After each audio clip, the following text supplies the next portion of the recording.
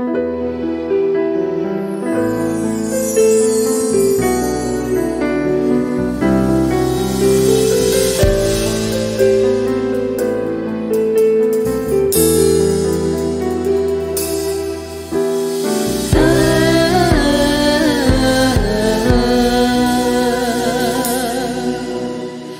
primera vez que Dios envió al profeta un mensaje liberó remanente de siete mil. Es la quinta vez que Dios enviará al profeta Elías, serán liberados ciento cuarenta y cuatro mil. Pero la cuarta vez que Dios ha enviado al profeta Elías, un pueblo gentil como la viuda de Sarepta obtendrá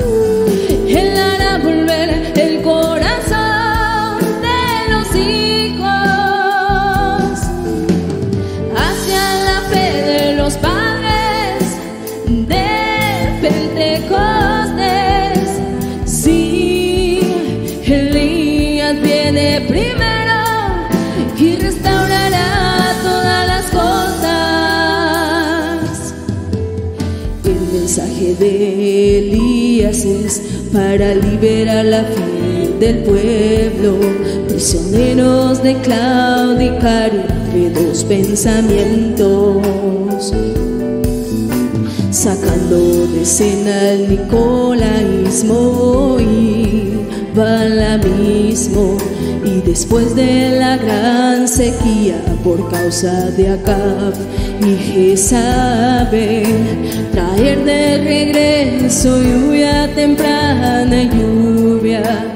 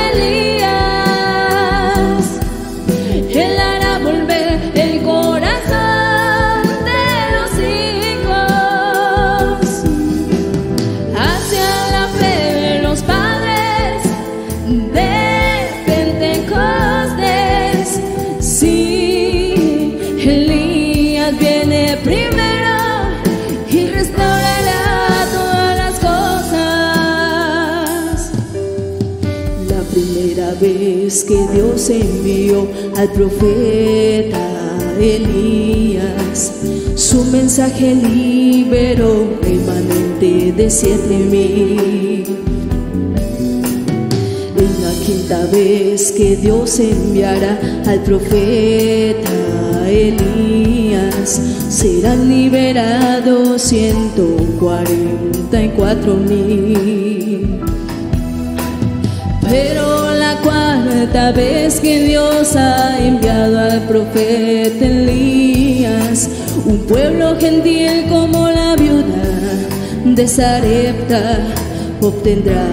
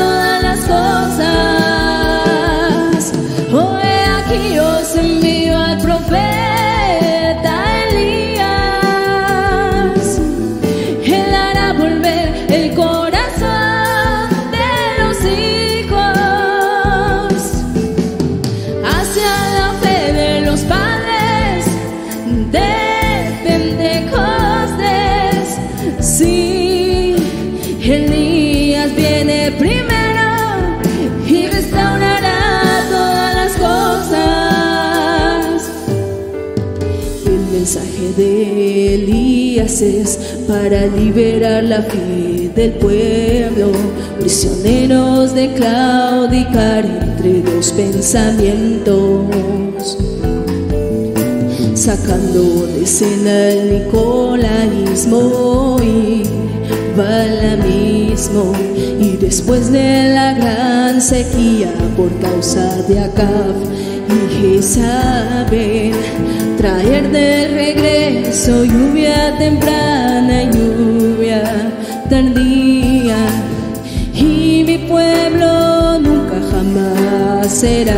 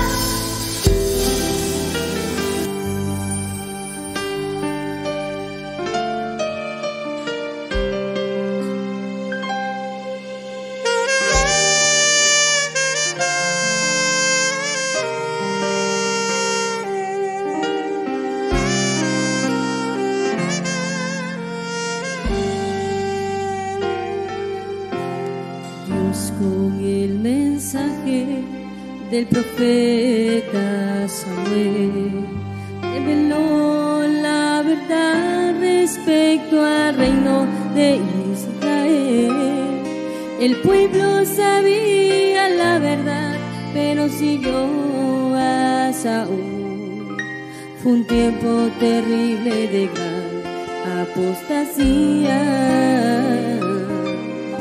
En mí ahí honraban al hombre y no a Dios.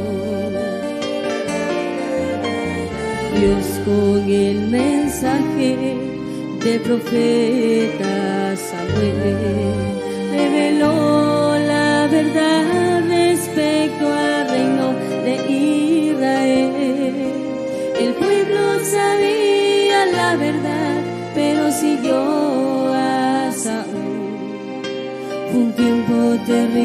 de that apostasía.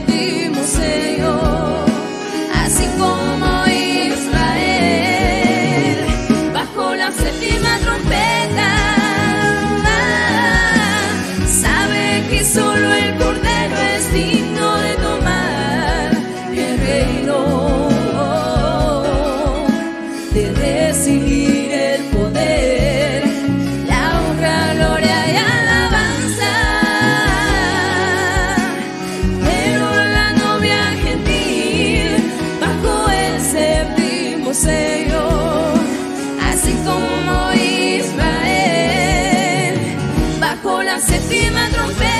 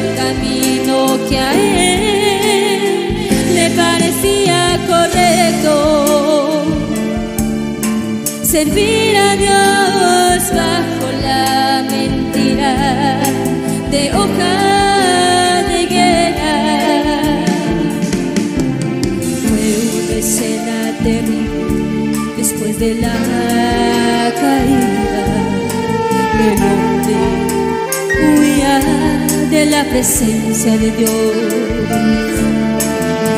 El real amor y el deseo por Dios ya no estaba, escogió el camino que a él le parecía correcto.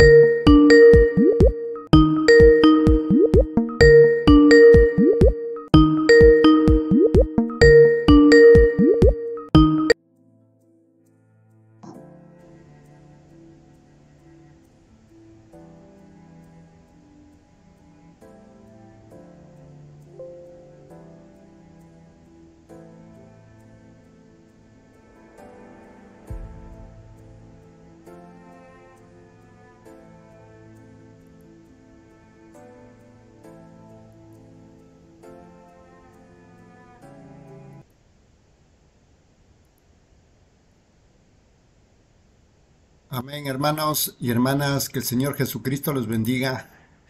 Vamos a dar comienzo a un nuevo compañerismo y vamos a pedirle a través de una oración que nos guíe en esta tarde una lectura que sea comprensible y pidamos sabiduría y entendimiento a nuestro Padre Celestial.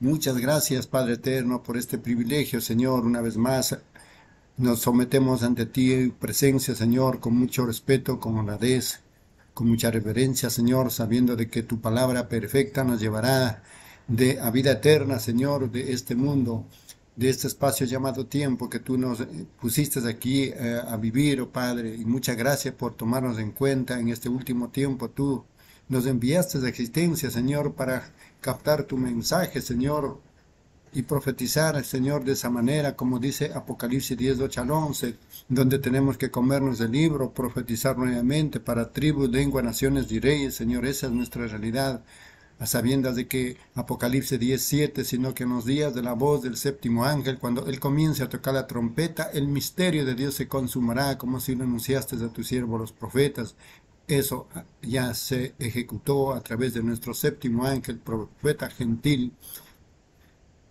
ha revelado todos los misterios, del Padre amado. Entonces en esta tarde queremos continuar con este glorioso compañerismo que tú nos has puesto en cada uno de vuestros corazones. E iniciamos, que sea tu voluntad, Señor, el permitirnos entrar en la cena de tu palabra, Padre, en el nombre del Señor Jesucristo. Amén, mis amados hermanos y hermanas. Vamos a continuar con la lectura de este glorioso mensaje titulado Una paradoja. Este mensaje fue predicado en Phoenix, Arizona, Estados Unidos, el día 28 de enero del año 1962.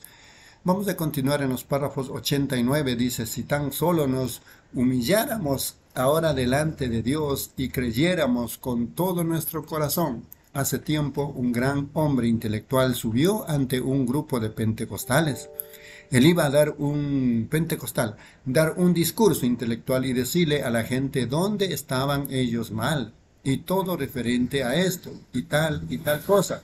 Y él lo tenía todo e, en real, un real discurso, pero él subió con su pecho erguido, ustedes saben, y el gran yo con muchos títulos y lo demás de esa manera. Y él en, le empezó a hablar a la gente pentecostal y la gente pentecostal no lo recibió. Ven, así que él vio que estaba derrotado. Así que él dobló y recogió sus notas. Nada se había dicho tocante al discurso intelectual, sino tratando de decir que era incorrecto el fenómeno pentecostal de hablar en lenguas, que eran incorrectos los milagros pentecostales de los cuales ellos estaban hablando. Eso no tuvo éxito con esa gente. Así que él estaba tan humillado a tal grado que tomó su libro y su texto y se bajó de la plataforma. Sentado allí estaba un santo a la antigua. Él dijo, ¿sabes qué? Si ese hombre se hubiera subido de la manera que él bajó, probablemente él se hubiera bajado de la manera que subió. Así que eso es lo que es. Ven, ven, humildad, el humillarnos ante el Señor párrafo 90. Realmente es una paradoja. Dios es una paradoja. Las visiones son una paradoja. Nosotros simplemente no las podemos explicar. ¿Cómo Dios puede mostrar cosas que eran, que son y que vendrán? Es, es más allá de cualquiera de nuestras investigaciones. Las visiones de los profetas antiguos de hace cientos de años las vemos todavía sucediendo hoy día. Es una paradoja. Fue una paradoja cuando Andrés fue a traer a Pedro, su nombre en ese entonces era Simón. Lo trajo ante Jesús y le dijo, dijo, tú sabes que nuestro papá nos dijo que habría toda clase de ismos sucediendo antes que el Mesías verdadero viniera. Pero él nos dijo, de acuerdo a la escritura, que el Mesías iba a ser un profeta. El Señor tu Dios levantará un profeta como yo mira, el Mesías va a ser un profeta. Todos los judíos creían eso. Párrafo 91. La Biblia dice, si hay un hombre entre vosotros que es espiritual o profeta, yo, el Señor, me daré a conocer a él por medio de visiones. Y si lo que él dice acontece, entonces oíganlo. Correcto. Así que cuando Andrés llevó a Pedro allá y él miró a Pedro, Jesús lo miró y dijo, tu nombre es Simón, y tu padre es Jonás. Pedro supo allí mismo que eso era una paradoja, que Dios estaba, el único que lo conocía a él y a su padre anciano completamente tendría que ser Dios. 92. Cuando Felipe fue allá a, llamar a Natanael y lo llevó ante Jesús, y él entró en la presencia de Jesús, y Jesús dijo, he aquí un israelita en quien no hay engaño. Eso lo impactó. Él dijo, ¿de dónde me conoces, rabí? Escuchen, antes que Felipe te llamara, cuando estabas debajo de la higuera, te vi. ¡Qué ojos! 15 millas, 24 kilómetros, rodeando la, la, montaña. Él miró a través de la montaña, a través del tiempo, y vio a Felipe debajo del árbol. 93. Cuando la mujer junto al pozo en Sicar llegó allí una joven hermosa, tal vez para sacar agua. Quizás la, ella tenía que ir cuando el resto de las mujeres decentes se habían ido. Jesús estaba sentado en un pequeño panorama, algo como esto, y así que ella dijo, él le dijo a ella, mujer, dame de beber. Ella dijo, eso no, no se acostumbra. Nosotros tenemos segregación aquí, ustedes judíos y nosotros samaritanos no tenemos tratos unos con otros. No es correcto que tú me pidas tal cosa a mí, una mujer de Samaria. Él dijo, pero si tú supieras con quién estás hablando, tú me pedirías a mí de beber. Ella siguió hablando tocante al pozo de cuán hondo estaba y de lo que los padres habían dicho y lo demás. ¿Qué sucedió? En unos cuantos minutos. Él, ella dijo, él encontró su problema. Él dijo, ve, llama a tu marido y ven acá. Ella dijo, no tengo marido. Dijo, tú has dicho la verdad. Tú tienes cinco maridos, has tenido cinco y con el que tú estás viviendo ahora no es tu marido. Párrafo 94. ¿Qué dijo ella? Escuchen, cuando él hizo eso delante de los judíos, los judíos dijeron, él les está leyendo la mente. Él es Belcebú, un adivino, un demonio. Pero esta mujer dijo, Señor, me parece que tú eres profeta. Nosotros sabemos que cuando el Mesías venga, Él hará estas cosas. Fue una paradoja. Ven ustedes, sabemos que tú has de ser profeta, el Mesías hará esto cuando Él venga, pero ¿quién eres tú? Él dijo, yo soy el que habla contigo. Ella sabía que ese era Dios, ella sabía que esa era la señal del Mesías, así que ella entró a la ciudad de prisa y dijo, venid, ved a un hombre que me ha dicho mis problemas. ¿No será este el mismísimo Mesías? Y la gente de la ciudad creyó a Jesús por la palabra de la mujer. Ahora bien, yo creo que el mismo Dios que llevó a cabo las paradojas en ese entonces, pueden hacer una paradoja ahorita mismo. ¿Lo creen ustedes? Amén. La congregación dice amén. La Biblia dice, Jesucristo es el mismo ayer y hoy y por los siglos. Solo tolérenme unos minutos más. 95. Antes que Él dejara el mundo, él dijo, como fue en los días de Sodoma, así será en la venida del Hijo del Hombre. Sodoma, recuerden, la simiente de Abraham. Había, Abraham había seguido caminando y había visto todas estas cosas de Dios. Pero la última visión, la última cosa que Abraham vio justo antes que el mundo tibio fuera destruido. Ahora recuerden, como yo siempre lo he dicho, hay tres clases de gente, el incrédulo, el manufacturado y el creyente. Todos ellos son vindicados, todos ellos fueron vindicados en aquel entonces. Los sodomitas, como el mundo hoy día, los creyentes tibios allá entre ellos, viviendo en la suciedad de ellos. Y luego Abraham, la iglesia elegida, llamada a salir fuera y puesta a un lado. Párrafo 96.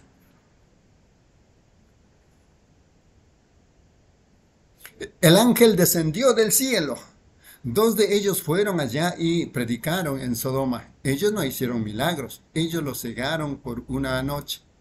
La predicación del Evangelio ciega al incrédulo. Un moderno Billy Graham entre los sodomitas allá amonestándolos. Yo creo que Billy Graham es un hombre de Dios y él está allá predicando su mensaje de arrepentimiento y de salgan de esta Sodoma. Ese fue el mensaje de ellos, que ellos oyeron. Pero recuerden, ese otro ángel no fue allá, sino que el otro ángel que fue enviado a la iglesia elegida, él se sentó. Él era un hombre que comió carne, bebió leche y él se sentó con su espalda volteada hacia la tienda. Le llamó a Abraham por su nombre que se le acaba acababa de dar a él por Dios unos cuantos días antes que eso. Y Sara de la misma manera dijo, ¿dónde está Sara tu mujer? Dijo, ella está en la tienda detrás de ti. Él dijo, yo te voy a visitar según el tiempo de la vida. Y Sara se rió, diciendo, ¿yo, una mujer vieja, tendré deleite con mi señor? ¿Qué dijo él? ¿Por qué se rió Sara? Y Sara salió y trató de negar. ¿Qué? Él supo lo que ella estaba haciendo allá atrás. Esa es la misma cosa que Jesús hizo. Él percibió los pensamientos de ellos. ¿Por qué? Porque Él era la palabra. Hebreos 4 dice, la palabra de Dios es más cortante que toda espada de dos filos, que discierne los pensamientos del corazón, de la mente, la palabra. Jesús era la palabra. En el principio era la palabra. Verbo, Biblia en español. Y la palabra verbo era con Dios y la palabra verbo que fue hecha carne y habitó entre nosotros. Ahora, si permaneces en mí y mis palabras permanecen en vosotros, ¿qué de eso? ¿Mintió Dios? Él no puede mentir, Él no puede mentir, Él es Dios, ¿lo creen ustedes? La congregación dice amén. Yo lo creo. Inclinemos nuestro rostro solo un momento, que Dios tenga misericordia. Párrafo 97. Detengámonos por un minuto. La primera paradoja fue cuando ustedes fueron salvos. La siguiente paradoja fue cuando Él les dio a ustedes el Espíritu Santo. Ahora bien, permítanme preguntarles a ustedes algo. Si Jesucristo es el mismo ayer y hoy y por los siglos, si yo les dijera a ustedes que el espíritu de John Dillinger estaba en mí, ustedes esperarían que yo tuviese armas, que fuera un delincuente. Si yo les dijera a ustedes que el espíritu de un pintor estuviera en mí, ustedes esperarían que yo tomara el pincel y pintara cuadros como el que estaba en la pared. Y si yo les dije, digo que el Espíritu de Cristo está en mí, entonces yo haré las obras de Cristo. Eso es exactamente lo que Él dijo. ¿Creen ustedes eso? La congregación dice amén. Si ustedes lo creen y no lo dudan, y no lo dudan, Dios lo manifestará. Párrafo 98. Ahora, nuestro Padre Celestial, yo he hablado extensamente. Si tú eres Dios, ahora Padre, la única cosa que yo puedo hacer es hablar. Tú eres el que lo tienes que manifestar y lo tienes que probar que es verdad. Y te pido a ti, Padre, que tú nos concedas este privilegio por medio del nombre de tu Hijo, el Señor Jesús. Danos aquello que estamos deseando para que esta gente pueda conocer, aunque sea áspero, fuerte, despedazador.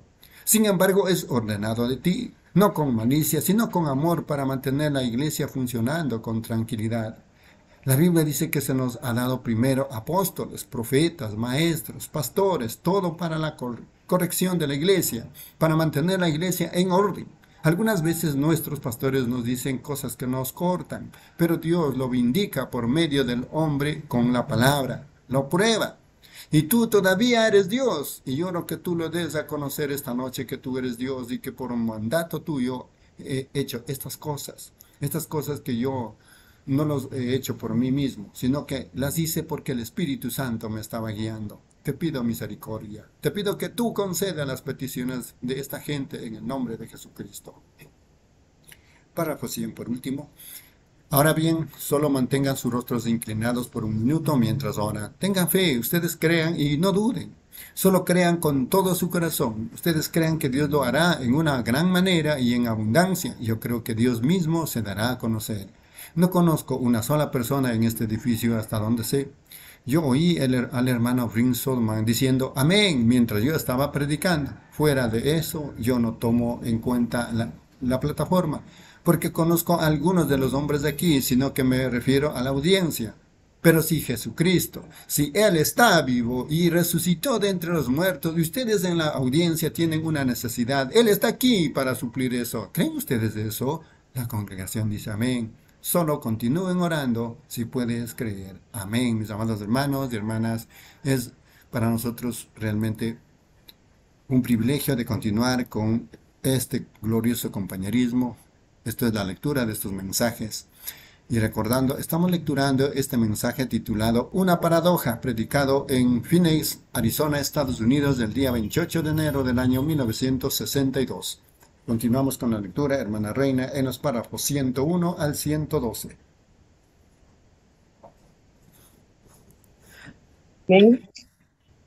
Dios les bendiga, hermanos y hermanas. Continuando con la lectura, una paradoja. Párrafo 101. Ahora bien, ¿cuántos hay aquí que nunca han estado en una de mis reuniones? Levanten sus manos. Muchos de ustedes. Yo soy un hombre como cualquier otro hombre, pero yo creo en Jesucristo. Creo que Él resucitó de entre los muertos. Yo creo que Él es Dios. Él es Dios dentro de nosotros ahora en la forma del Espíritu Santo. Y Él dijo, las obras que yo hago, vosotros las haréis también. Ahora, hablar sobre eso es una cosa, pero que, pero que Él lo haga es otra cosa. Si puedes creer, todo es posible. Ahora, quiero que levanten sus rostros solo un minuto. ¿Cuánta gente enferma hay en el edificio? Levanten sus manos. ¿Cuánta gente tiene a alguien que está enfermo por quien usted pueda orar? Levante su mano, sea pecador o lo que pudiera ser. Ahora bien, hubo una mujercita en una ocasión que tocó el borde del manto de Jesús y fue completamente sana. Él pasaba por allí y toda la gente lo estaba tocando. Y él dijo, esta mujercita se acercó sigilosamente y lo tocó a él, tocó su manto. Él volteó y le dijo a ella, dijo, alguien me tocó. Todos. Pedro lo reprendió. Oh, ustedes saben, decir una cosa como esa. Él dijo, toda la multitud te está tocando. ¿Cómo pudieras ¿Cómo sabrías tú quién te tocó? Todos ellos te están tocando. ¿Quién tocó? Pero él dijo, pero yo he conocido que virtud salió de mí, me debilité. Y la mujercita que lo tocó a él, él miró por toda la audiencia hasta que él la encontró. Y cuando la encontró, él le dijo cuál era su problema y que la fe de ella la había sanado. 103. ¿Creen ustedes que el mismo Dios vive hoy? Amén. La congregación dice amén. ¿Le ayudaría a su fe si Él viniera hoy e hiciera la misma cosa? Amén. ¿Qué de ustedes, hombres de negocio, creen ustedes? Amén. ¿Lo creen ustedes? Amén. ¿Orarán por mí? Amén. Yo no estoy seguro de esto, amigos. Yo nunca he tenido una reunión como esta de entre los hombres de negocio aquí. Yo estoy confiando. Estén alertas, oren. Ahora bien, la palabra, la palabra. Si yo he dicho la verdad y si Dios me indica que es verdad, Él mostrará sus señales y prodigios. Él lo mostrará bíblicamente, exactamente lo que la Biblia dice. Tendrá que ser esa clase de señal y prodigio ¿Creen ustedes eso? La congregación dice, amén.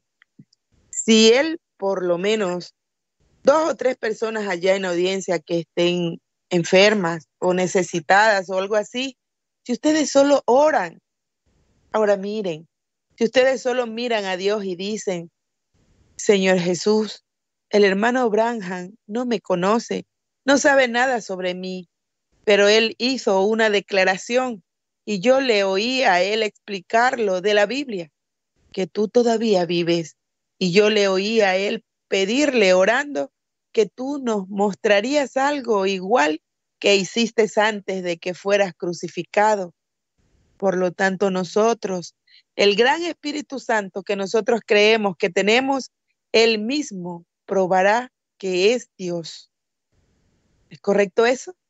La congregación dice amén lo probará entre nosotros. Ahora, ustedes oren y solo crean ahora y digan, Señor, miren, dice esto la Biblia, ustedes ministros, todos ustedes predicadores que creen esto, miren, Jesucristo es un sumo sacerdote ahorita mismo, sentado a la diestra de la majestad de Dios. ¿Correcto eso? Los ministros dicen amén un sumo sacerdote que puede compadecerse de nuestras debilidades. ¿Es correcto eso? Amén. ¿Cuántos saben que esa es una doctrina del Nuevo Testamento? Es una doctrina del Nuevo Testamento. Muy bien. Entonces, ¿cómo actuaría ese sumo sacerdote si ustedes lo tocaran? Si Él es el mismo, Él actuará de la misma manera, como con esa mujer que lo tocó. Ustedes dicen, si yo hubiera estado allí, yo lo hubiera tocado. Ustedes lo pueden tocar ahorita mismo. La Biblia así lo dice. Y eso es lo que yo creo. La Biblia. Créanlo ustedes con todo su corazón. No lo duden. Por todas partes en el edificio. Ahora, sean muy reverentes. Sean tan reverentes como yo no digo que Dios lo hará. Yo no sé. ¿Cuántos han visto alguna vez esa fotografía del ángel del Señor? Oh, seguro. Nosotros la tenemos. ¿Ven? Yo tenía eso en las notas de esta tarde. No tuve tiempo para abarcarlo. Solo estén orando. Ahora, Señor, esto es, si tú lo deseas, Señor, no me permitas tentarte. Padre, que yo nunca quiera ser uno que tienta a Dios. Pero Dios Padre, si eso te glorifica, entonces permite que la gente sepa que yo le he dicho la verdad. Habla que yo les he dicho a ellos la verdad. Concédelo, Señor. Yo hablé de ti lo mejor que yo sabía de tu palabra. Esa es la palabra. Yo me quedé con ella totalmente, Señor, sin importar a dónde fue, como lo que haya sido. Yo me quedé con la palabra. Ahora, Padre, te pido que respondas que yo he dicho la verdad. Indícalo, Padre, en el nombre de Jesús. 107. Continúen orando diciendo, Señor Jesús, yo creo eso. Yo lo creo. Yo no sé, amigos. Dependerá del Señor ahora. Ven, yo no lo puedo sentir a Él por alguna razón. Y yo soy, soy igual que este micrófono. Estoy perfectamente mudo, sin que algo hable por medio de mí, ¿ven? Pero ese es un don, una manera de relajarme en la presencia de Dios para que Él me muestre visiones. Yo confié que Él lo iba a hacer cuando predicara sobre esas paradojas, pero quizás él no lo desee hacer. Yo, si Él no lo desea hacer, entonces no depende de mí. Yo solo tengo que esperar para ver lo que Él diga. Estén muy quietos todos orando. Yo solo estoy observando por toda la audiencia. Alguien habla en lenguas. La vocecita pasible y delicada. Manténganse reverentes. Muy bien. Pueden levantar sus rostros. Él está aquí Ahora, yo reto a cualquier incrédulo, hable ahora o calle para siempre. Ustedes únicamente crean que, crean todo ahora. Acudan a Dios y vean si Dios no contesta que es la verdad. Alguien habla en lenguas e interpreta. 108. Sean muy reverentes. Yo quiero que miren hacia acá. Una damita sentada por allí, ella está sufriendo de una condición de bronquitis en su garganta. Ella viene de Flashtac. Si usted cree con todo su corazón, puede recibir lo que usted pidió. ¿Lo cree usted, hermana? Entonces póngase de pie y acepte su sanidad. Ahora, permítanme repetir la oración de ella. Ella estaba orando. Señor, yo estoy sufriendo mucho. Permite que el hermano Branham me hable menee su mano de lado a lado si esas cosas, si usted estaba orando para que, para que yo la llamara a usted en ese momento. Cuando yo la llamé, usted estaba orando por eso. ¿Es correcto eso? Menee su mano de lado a lado así, si es la verdad. Somos desconocidos uno del otro. Menee su mano de lado a lado otra vez. Yo no la conozco. Si eso es verdad, menee su mano de lado a lado otra vez. Muy bien. ¿Qué tocó ella? 109. Hay una señora sentada allí que está orando por un amigo que tiene cáncer. ¿Cree usted con todo su corazón? Dios contestará su oración. Veo a una persona, a un hombre que está muy, muy enfermo. Si usted lo cree con todo su corazón, yo estoy mirando una visión. Dios la bendiga. usted lo puede recibir. Yo no conozco a la mujer, nunca la he visto. Si eso es correcto, la señora está sentada allí, yo la estoy mirando. Ahí lo tiene usted. ¿No era usted sentada allí orando? Señor Jesús, permite que este Dios la bendiga. Que alguien ore. Aquí está una persona sentada allí mismo. ¿No ven ustedes esa luz? Está por arriba de una mujercita de cabello canoso sentada allí. Sí, la señora que levantó su mano. Ella tiene diabetes. Ella no es nativa de aquí. Ella es de un país montañoso, Suiza. Hay todo un grupo de ustedes de allá, de Suiza. Eso es correcto. Crea y usted puede regresar a casa y ser sana. ¿Lo creen ustedes? 110.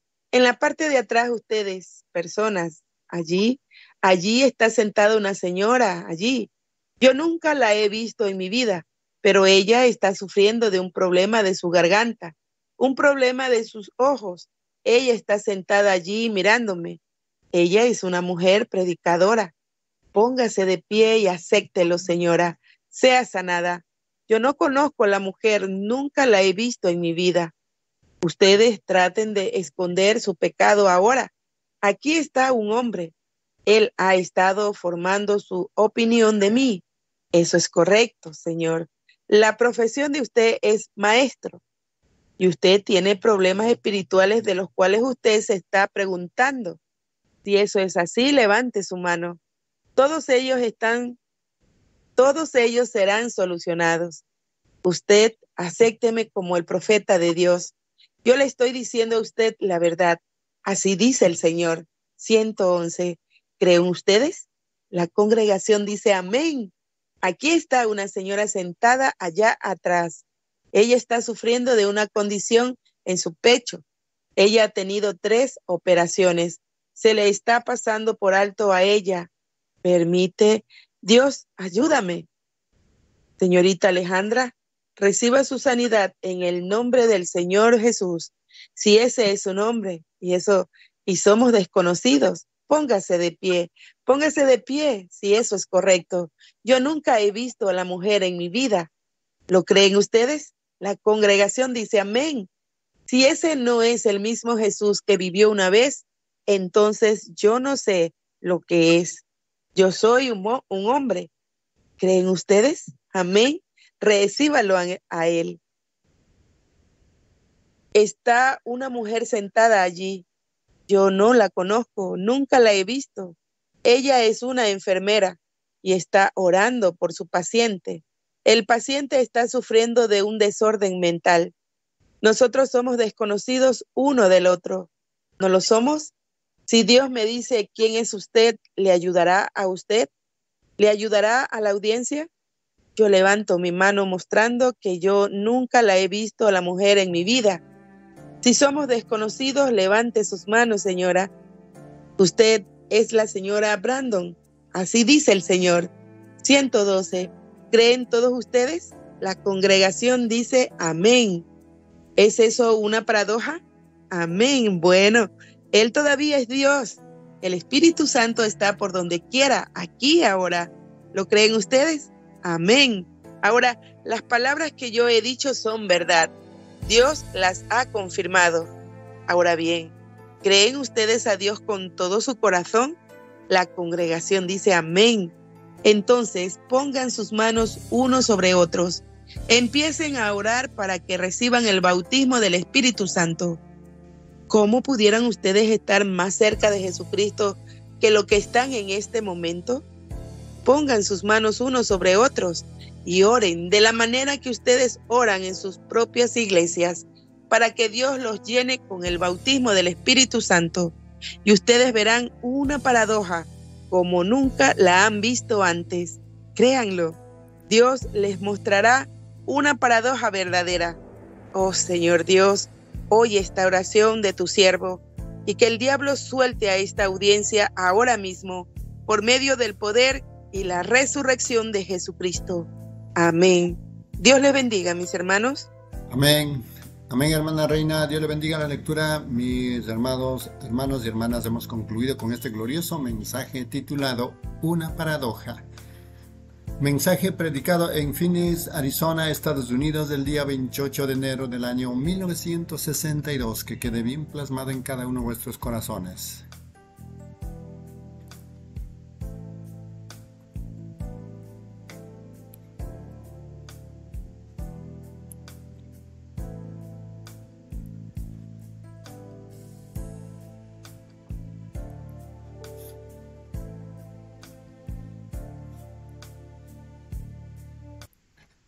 Amén, hermanos y hermanas.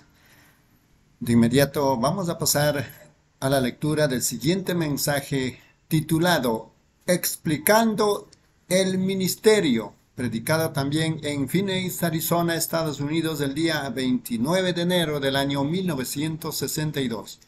Iniciamos este nuevo mensaje, párrafo 1 dice, gracias hermano Demos, yo no tengo ningún negocio aquí arriba quitándoles el tiempo al hermano Brown y a otros. Pero verdaderamente aprecio la oportunidad de estar en fines. Y, es, no hay manera de expresar lo que siento por la gente de aquí, de Phoenix, que se ha reunido, como siento por la gente de donde quiera. Y el compañerismo que hemos disfrutado esta semana, o mejor dicho, la semana pasada, entre esas iglesias de allá Pude visitar 10 iglesias diferentes, tres o cuatro organizaciones diferentes, y el compañerismo entre los hermanos ciertamente fue tremendo. Recuerdo cuando el hermano William pasó por aquí, creo que él venía de la clínica Mayo, y disfrutamos algunos momentos juntos. Ahora, hablando de esta convención, yo he hablado muchas veces con los hombres de negocio. Alguien me dijo en una ocasión, dijo, oiga, usted es predicador, ¿qué negocios tiene usted con los hombres de negocio? Dije, es que yo soy un hombre de negocio. Y dije, y dijo, ¿en qué clase de negocio está usted? Yo dije, en el de seguros, seguridad, seguros de vida. Si alguien está interesado en una póliza, me gustaría hablar con usted después del servicio. Párrafo 2. Un agente de seguros. Él vino a mi casa en una ocasión y éramos buenos amigos. Fuimos juntos a la escuela. Su nombre es Wilbur Schneider. Quizás él esté sentado aquí esta noche. Así que él me dijo, dijo, Billy, quisiera saber si estarías interesado en una póliza de seguros. Bueno, yo tenía un sentir un poco raro al respecto. Y yo, no respecto a él, sino respecto a eso de yo tener un seguro de vida. Ya estaba asegurado. Entonces le dije a Wilbur, dije, yo no tengo ningún seguro como ese, no creo. Dije, yo tengo una póliza, una sola póliza. Y dije, yo creo que esa será suficiente. Y él dijo, oh, ¿ya tiene seguro Billy? Y yo dije, sí, ajá. Mi esposa me miró como diciendo, ¿qué es lo que le ha pasado a él? Y dijo, ¿tienes una? ¿Qué clase de seguro tienes tú, Billy? Yo dije, bendita seguridad, Jesús es mío. Y él dijo, Billy, eso no te pondrá aquí en el cementerio. Yo dije, pero me sacará. No me preocupa estar allí, nunca me ha preocupado estar allí. Yo estaré allí, la cosa es salir de allí. Entonces, esta policía de la que hablo, así que si soy un hombre de negocio, estoy muy contento de estar afiliado con estas personas que tienen, que son portadoras de esta misma póliza, de seguro de vida eterna. Párrafo 3. Y miren, ayer fue la primera vez que traté de ver si el Espíritu Santo hablaría en una de estas convenciones. Y déjenme decirles por qué. Nosotros estamos allí relajados y gritando y regocijándonos con el resto de ellos, disfrutando de unos buenos momentos. Y entonces es algo difícil. Por lo general, en servicios como ese, yo no, yo no como quizás por unos dos o días entre al servicio y me paro allí. Es una cosa misteriosa. Sin embargo, yo sé que viene de Dios. Yo estoy seguro de eso, de que viene de Dios. Párrafo 4 de niño, cuando nací, ustedes han oído mi historia, cómo es que esa luz estaba suspendida sobre la camita donde nací. Mi madre y mi padre, ellos no sabían qué era eso. Y después, cuando yo apenas era un niñito, él me habló y dijo, nunca bebas sencillamente, ni fumes, ni te contamines en ninguna manera, porque hay una obra que hacer cuando seas de mayor edad. eso continuó. Y mi familia pensó que quizás cuando el, al principio las visiones empezaron a aparecer delante de mí, pues yo iba y le decía a mi madre, ¿sabe qué? Yo, yo vi tal y tal cosa suceder. Ella decía, Billy, tú te quedaste dormido. No, mamá, yo no me quedé dormido. Y nos dábamos cuenta que sucedía exactamente de esa manera. Párrafo 5. Y mis amigos cristianos, nosotros no sabemos cuál será el tiempo de nuestra última reunión. Si nos reunimos aquí el año entrante, espero que sí nos reunamos. Pero no hay duda que algunos de nosotros no estaremos aquí, partiremos antes del año entrante. En un grupo de esta cantidad de gente donde hay enfermedades y gente anciana y así por el estilo, todos tenemos que encontrarnos allá con nuestro testimonio otra vez. Así que debemos ser sinceros. Aprecié lo que dijo el hermano Ford hace unos instantes. Hay una cosa que está correcta y esa es la palabra de Dios. Esa es la pura verdad. Quédense exactamente con eso. Entonces, si permanecéis en mí y mis palabras permanecen en vosotros, entonces pedid todo lo que queréis. 6. Ahora, esta es la manera que siempre me ha parecido a mí, amigos, que si Dios alguna vez fue Dios, Él todavía es Dios. Y si él no cumple su palabra, entonces no hay nada en ello. Como una joven que en una ocasión fue a un colegio para aprender a ser un ministro. Y mientras él estuvo ausente, la madre se puso seriamente grave. Y ella envió un telegrama al colegio para que su hijo regresara a casa, que ellos pensaban que la mamá iba a morir. Y entonces, a la mañana siguiente, otro telegrama llegó que decía, ella está bien. Como un año después, el muchacho visitó su hogar. Él dijo, mamá, me gustaría saber lo que el doctor hizo por usted. ¿Y quién fue el doctor? Ese fue el caso de pulmonía, que yo sepa que se haya recuperado tan rápido. Y ella dijo, oh, hijo, dijo, no, no fue un doctor. Y dijo, pero por otra parte, sí fue un doctor. Dijo, ¿cómo se llama? Dijo, el doctor Jesús. Él dijo, pues ¿Quiere usted decir Jesús el Cristo? Para te dijo, sí. Dijo, ¿sabes dónde está ese grupito de gente allá al lado de la calle que tiene esa misioncita? Sí, dijo, ellos estaban llevando a cabo una reunión allá una noche y tuvieron una reunión de oración y el doctor me dijo que yo no podía sanar. Yo estaba demasiado grave. Y dijo, ellos dijeron que se sintieron guiados a venir y orar por mí. Y ella dijo, ¿sabes qué, hijo? Dijo, gloria a Dios, Jesús me sanó. Y entonces el muchacho dijo, mamá, qué ridículo, pues usted incluso actúa como, como ellos, usted no debería hacer eso. Oh, ella dijo, pero hijo, eh, está allí en la Biblia. Dijo, ellos me lo leyeron de la Biblia. Pues yo dije, mamá, dijo usted, eso, e, eso no es correcto. Esa gente es analfabeta. Ellos eh, ellos no entienden la Biblia. Dijo, nosotros aprendimos esas cosas en el colegio. Dijo, ellos no, no, entienden. Dijo, hijo, espera un momento. Yo lo marqué. Ella fue y leyó Marcos 16, sobre los enfermos pondrán las manos y sanarán. Oh, él dijo, mamá, entienda que nosotros aprendimos en el colegio que Marcos 16, del versículo 9 en adelante, ni siquiera está inspirado. Ella dijo, aleluya, aleluya. Él dijo, mamá, ¿qué es lo que le pasa a usted? Dijo, yo simplemente estaba pensando, si Dios pudo sanarme con una palabra que no está inspirada, ¿qué podría hacer Él con lo que realmente está inspirada? Para 8. Así que, hermano Ford, yo creo que todo ella está inspirada y eso es para lo que es. Casi he dejado el campo de servicio porque es tan tremendo por allá en casa. La gente viene de todas partes y no hay nada. Yo no puedo manufacturar una visión. Se requiere a Dios para hacer eso. Pero ¿cuántos de ustedes han visto alguna vez esa fotografía? Ellos ya la han fotografiado muchas veces.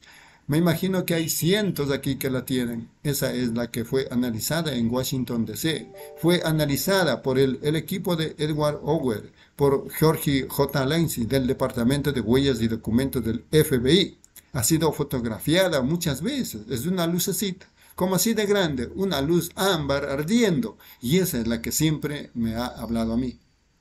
Párrafo 9.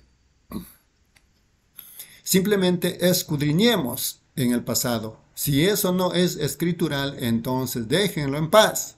Si alguna vez yo digo algo en presencia de ustedes como una doctrina o una enseñanza que no está en la Biblia, olvídenlo, porque no está correcto.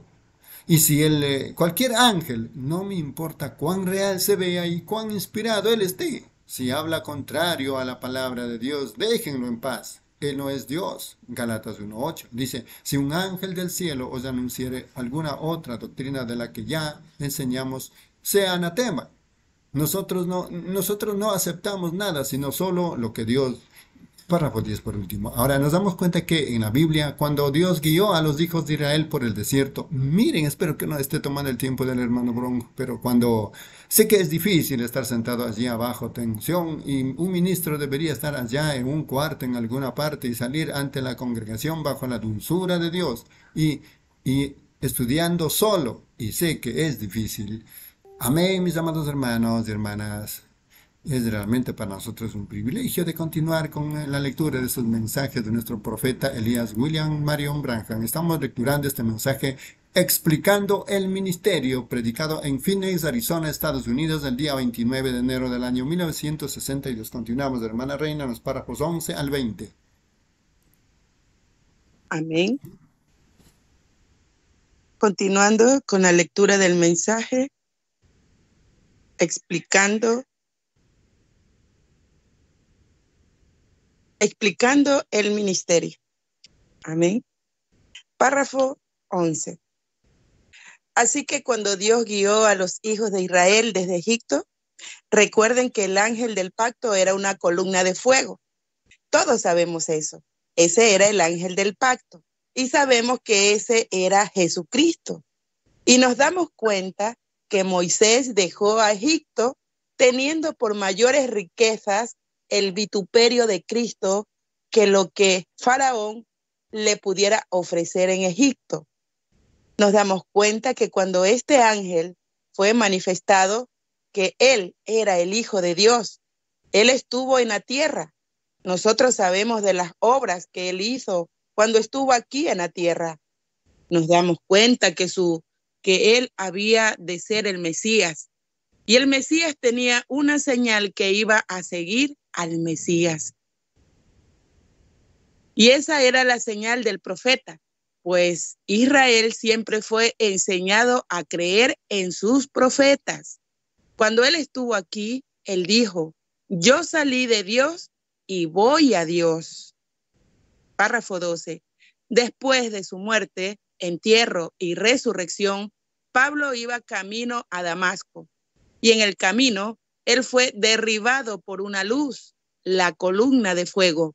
Ahora recuerden, primero era una columna de fuego, luego fue hecha carne, después regresó a Dios y ahora aquí Pablo la ve. Ninguno de los demás la vio, solo Pablo. Ustedes saben, en muchas ocasiones uno puede ver cosas que otros no tienen nada no pueden ver en lo absoluto. Esos soldados o quienes fuesen los guardias del templo que estaban con Pablo no vieron esa luz, pero fue tan real para Pablo a tal grado que le cegó los ojos. Y Pablo clamó, dijo, él dijo, primero la voz habló desde la columna de fuego y le dijo, Saulo, Saulo, ¿por qué me persigues? Y él dijo, ¿quién eres, Señor? Y él dijo, yo soy Jesús.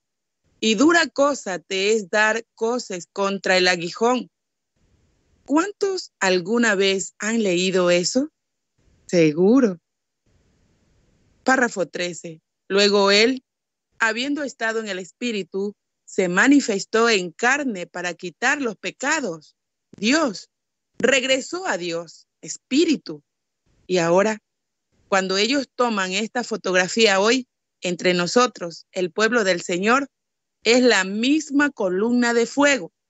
Ahora, de la única manera que puede ser probado que es la misma columna de fuego es que hará las mismas obras. Amén. Si es la misma columna de fuego, el Espíritu de Dios. Jesús dijo, todavía un poco, y el mundo no me verá más, pero vosotros me veréis, porque yo estaré con vosotros y en vosotros hasta el fin del mundo.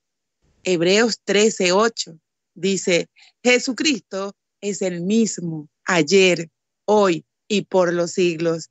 Entonces, si este espíritu no produce la vida de Cristo, entonces no es el espíritu de Dios.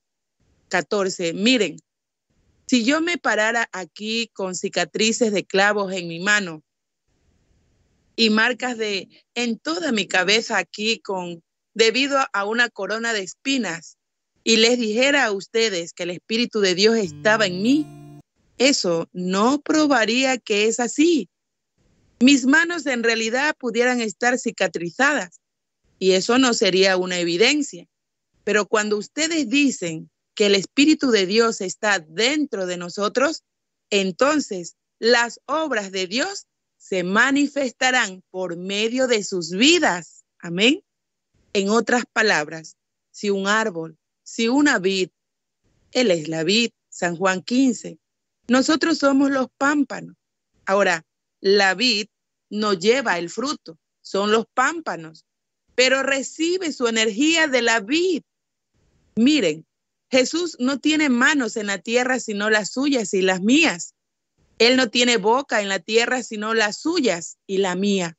Entonces, nosotros llegamos a ser energizados con el Espíritu de Cristo. Y si la vida que está en la vid está en el pámpano, entonces el pámpano producirá los frutos que están en la vid. Seguramente que sí, amén. Sabemos eso.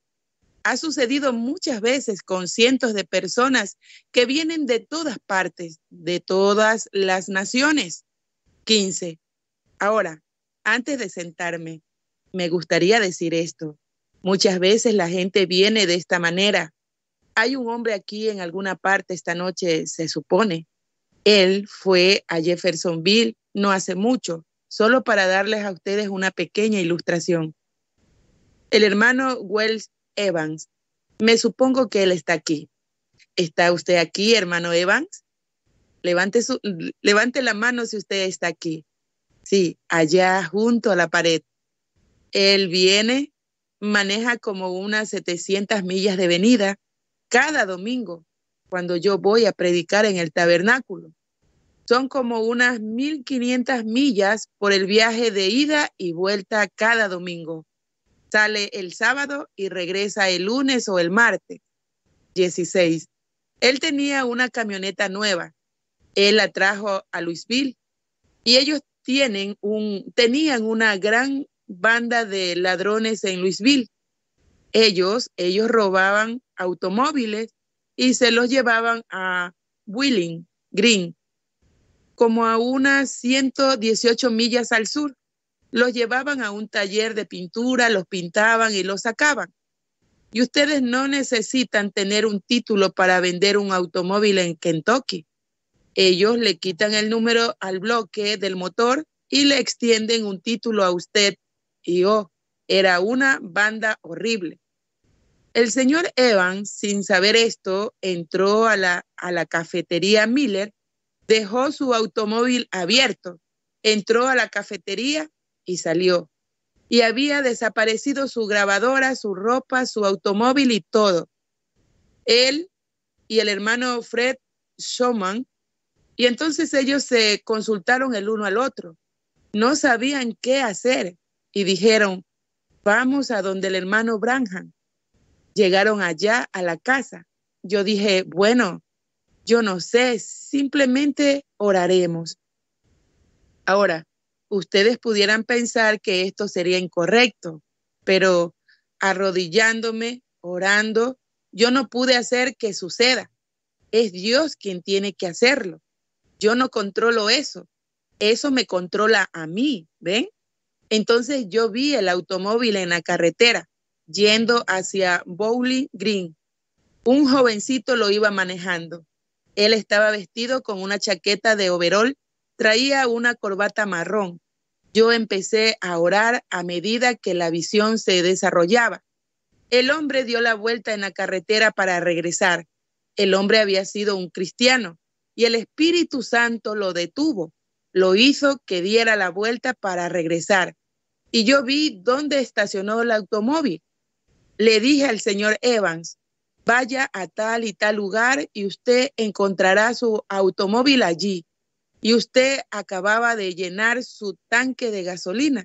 Sí, estará como por la mitad porque él lo manejó como unas 100 millas.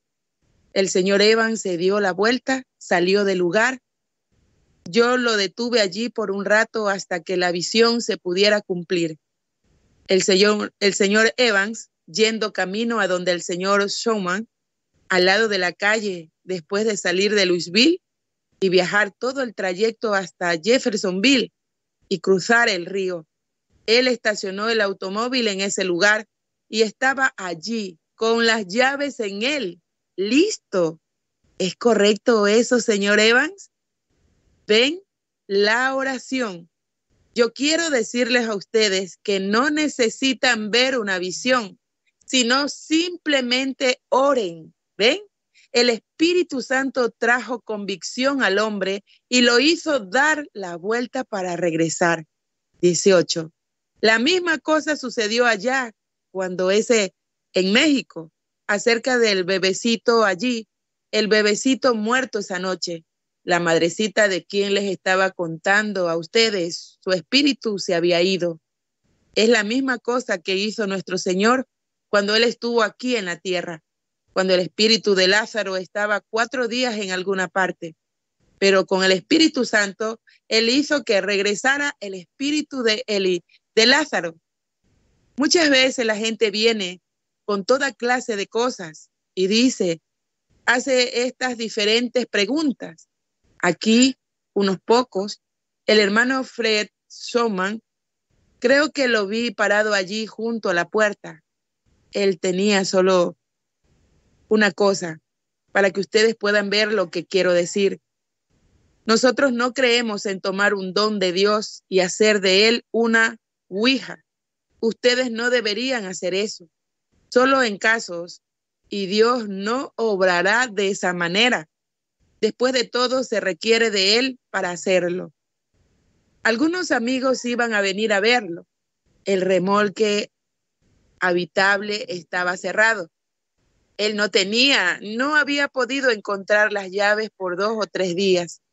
Él sencillamente estaba desesperado. La gente iba a venir. Él llamó, dijo, hermano Branham, en una ocasión los hijos de Isaí estaban buscando unas mulas y no podían encontrarlas. Así que ellos fueron a donde Samuel y le preguntaron dónde estaban. Y Samuel les dijo que las, las mulas ya habían regresado. Él dijo, ¿le preguntará usted a Dios acerca de las llaves? Le dije, vaya a su ropero después de orar. Busque en un suétercito que usted usó hace unos días y allí estaban las llaves. ¿Ven? ¿Qué es? Eso quiere decir una cosa, amigos, que Dios todavía es Dios tanto como siempre lo ha sido. ¿Ven? Ahora, nosotros, nosotros debemos lidiar con eso. Debemos creer eso. Debemos saber que eso es verdad. Amén. 19 pero esos dones únicamente operarán y no pueden operar por medio de un individuo. Se requiere la fe de algún otro individuo para hacer operar ese don. Amén. La mujer que tocó su manto, pues muchos lo estaban tocando, pero la fe de esa mujer lo tocó a él. Y durante el tiempo de la fe tocándolo a él, no fue exactamente que ella lo tocó a él, sino que ella tocó a Dios. Y eso es lo que produjo los resultados. Amén. Siempre es de esa manera. Si su fe lo puede tocar a Él, entonces esa clase de don es simplemente un, un discernimiento por medio del cual Dios contesta a un individuo. Amén. Así que ustedes, muchos de ustedes levantaron sus manos indicando que era la primera vez que lo vieron. Ahora, Jesús prometió que ese don regresaría a la iglesia antes del tiempo del fin. Párrafo 20. Yo estaba hablando con el hermano Demos hace unos momentos acerca de una escritura que si ustedes únicamente supieran, y confío que ustedes sí lo sepan, cuando ustedes ven a estos finos hermanos de las iglesias denominacionales, las episcopales, las previsterianas, las metodistas, entrando para recibir esto, ¿no saben su escritura qué es lo que sucede entonces? ¿No? No es mi intención reprenderlos cuando me paro aquí y digo cosas, pero es para su bien. Ahora, tan pronto dije eso, el Espíritu Santo empezó a moverse aquí mismo, ahora. ¿Cuántos alguna vez vieron esa fotografía? Cuando yo los encuentre a ustedes en el tribunal del juicio, ustedes verán si esto es correcto. Esa misma luz no está ni a dos pies de donde estoy parado ahora mismo. Correcto, ¿qué es? Es el Señor resucitado con quien Pablo se encontró en el camino a Damasco. Amén. Produce su vida. Vale más que me siente. Amén. Dios le bendiga, mis hermanos. Amén. Amén, hermana Reina. Dios le bendiga la lectura. Recordando, estamos lecturando este glorioso mensaje titulado explicando el ministerio, predicado en Phoenix, Arizona, Estados Unidos, el día 29 de enero del año 1962. Concluyendo, párrafo 21 dice, ¿cuántos verdaderamente creen eso con todo su corazón? Yo, yo sé que ustedes lo creen. Una de esas visiones lo deja a uno más débil que si uno se parara aquí y predicara por tres horas. Jesús, cuando el Padre quiera mostrar una visión, Miren, cuando Lázaro murió, el Padre le había mostrado a Jesús lo que iba a suceder. Ahora recuerden que en Juan 5:19 Jesús dijo, de cierto, de cierto digo, no puede el Hijo hacer nada por sí mismo, sino lo que ve hacer al Padre. Eso hace el Hijo igualmente. ¿Cuántos saben que esa es la escritura? Entonces Jesucristo nunca hizo una sola cosa, sino hasta que Dios se la mostró a él primero. ¿Es correcto eso? Así que no soy yo el que lo dice, el que hace las obras, sino que es mi Padre que mora en mí. Ahora sabemos que eso es la verdad. Es siempre el Espíritu de Dios. Párrafo 22. Miren, él vio una visión de Lázaro y siguió adelante hasta que supo que Lázaro había muerto y lo dijo así y regresó. Él nunca dijo algo acerca de ponerse débil, pero una mujercita con un flujo de sangre tocó su manto y él dijo, he conocido que ha salido poder de mí. ¿Por qué? Escuchen, amigos, en el caso de Lázaro, Dios estaba usando su don. En el otro, la mujer estaba usando el don de Dios por medio de su fe. ¿Entienden? Vean, la mujer Jesús no dijo, no se volteó y dijo, bueno, mira, tú sabes que yo tengo poder, así que te sané. Él dijo, tu fe te ha salvado, tu fe, la fe de ella lo logró. Párrafo 23. Yo no sé cómo pudiera hacerlo más claro a ustedes, más que decir que, que ese mismo Dios, no aquí solo conmigo, si Él estuviera solo conmigo y no con ustedes, bueno, nunca sucedería. Se requiere de ustedes y yo juntos. Ustedes tienen que tener fe. Yo tengo que tener fe. Y un don es igual que tener una, salir de una velocidad baja y meterlo en una velocidad alta. Ven, es simplemente saber cómo cambiar la velocidad. Ese es el don.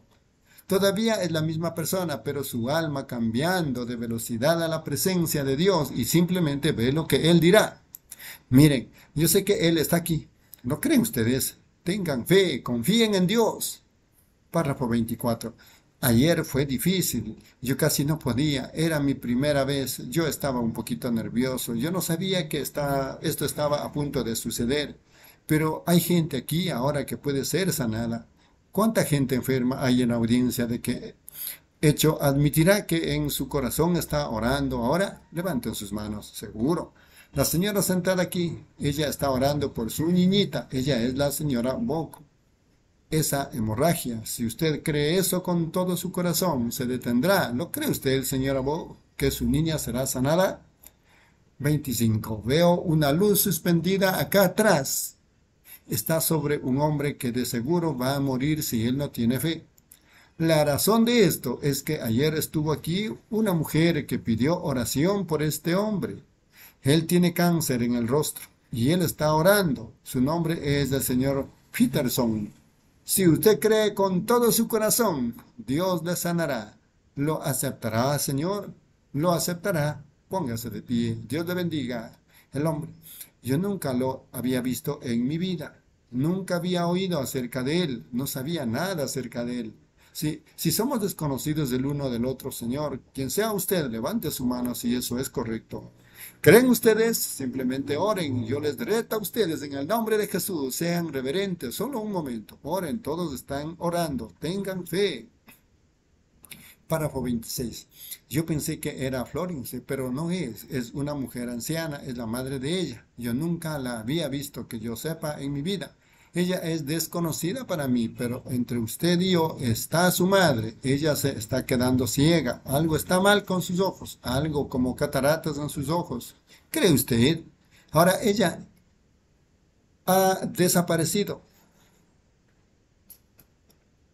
Mire, hermana Shakarian, usted sabe que yo no conozco a sus padres, a su familia. Yo nunca los he visto. 27. Hay una damita sentada justo aquí. Ella tiene problemas espirituales por lo que está orando. Ella está un poco encanecida. Dios no permita que se le pase por alto. Ella está orando por alguien más también. Ella no es de aquí, es de otra ciudad que está al lado de la costa del mar. Ella es de Los Ángeles. Su nombre es señora Pascoe. Póngase de pie. Usted no será molestada nunca más. Su fe la ha salvado. Dios le bendiga. No duden más. No duden más, Él está aquí, así dice el Señor. Párrafo 28. Voy a salir por un momento, vuelo enseguida. Como que me se está desplegando por donde quiera. Ven ustedes, voy a regresar un momento, vuelvo enseguida. El hermano Branham deja el púlpito por unos momentos y regresa tarareando. El Señor me dijo, cuando fui allá, dijo, ora, ora, yo, yo sé, no piensen que estoy fuera de sí, no estoy, yo sé en dónde estoy. Miren, si hay un crítico que quiera criticar, ahora es su momento de ponerse de pie. Párrafo 29. Hermanita, allí que viene de Long Base, no se preocupe, todo ha terminado ahora, tenga fe. Miren, quiero que solo pongan las manos los unos a los otros. Dios, quien dice estas cosas, sabe lo que es correcto. Seguramente que sí. La Biblia, un hombre puede venir y hablar cualquier cosa, puede estar correcto o incorrecto, pero cuando Dios confirma que está correcto, entonces está correcto. La palabra de Dios está correcta. Todo lo demás está errado si es contrario a la palabra de Dios. La palabra de Dios dice, estas señales seguirán a los que creen, sobre los enfermos pondrán las manos y sanarán. Padre Celestial, yo solo estoy haciendo esto por un mandato tuyo, Señor.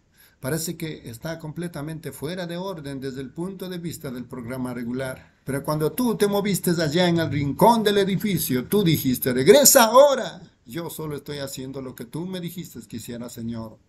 Ruego que el Espíritu Santo en este momento sacuda esta audiencia de una manera tal que ellos comprendan que el viviente Señor Jesús resucitado está en nuestros medios esta noche, moviéndose sobre nosotros por medio de nosotros y dentro de nosotros. Mira, Señor, ellos tienen las manos puestas unos sobre otros y ellos tienen necesidad del Espíritu Santo.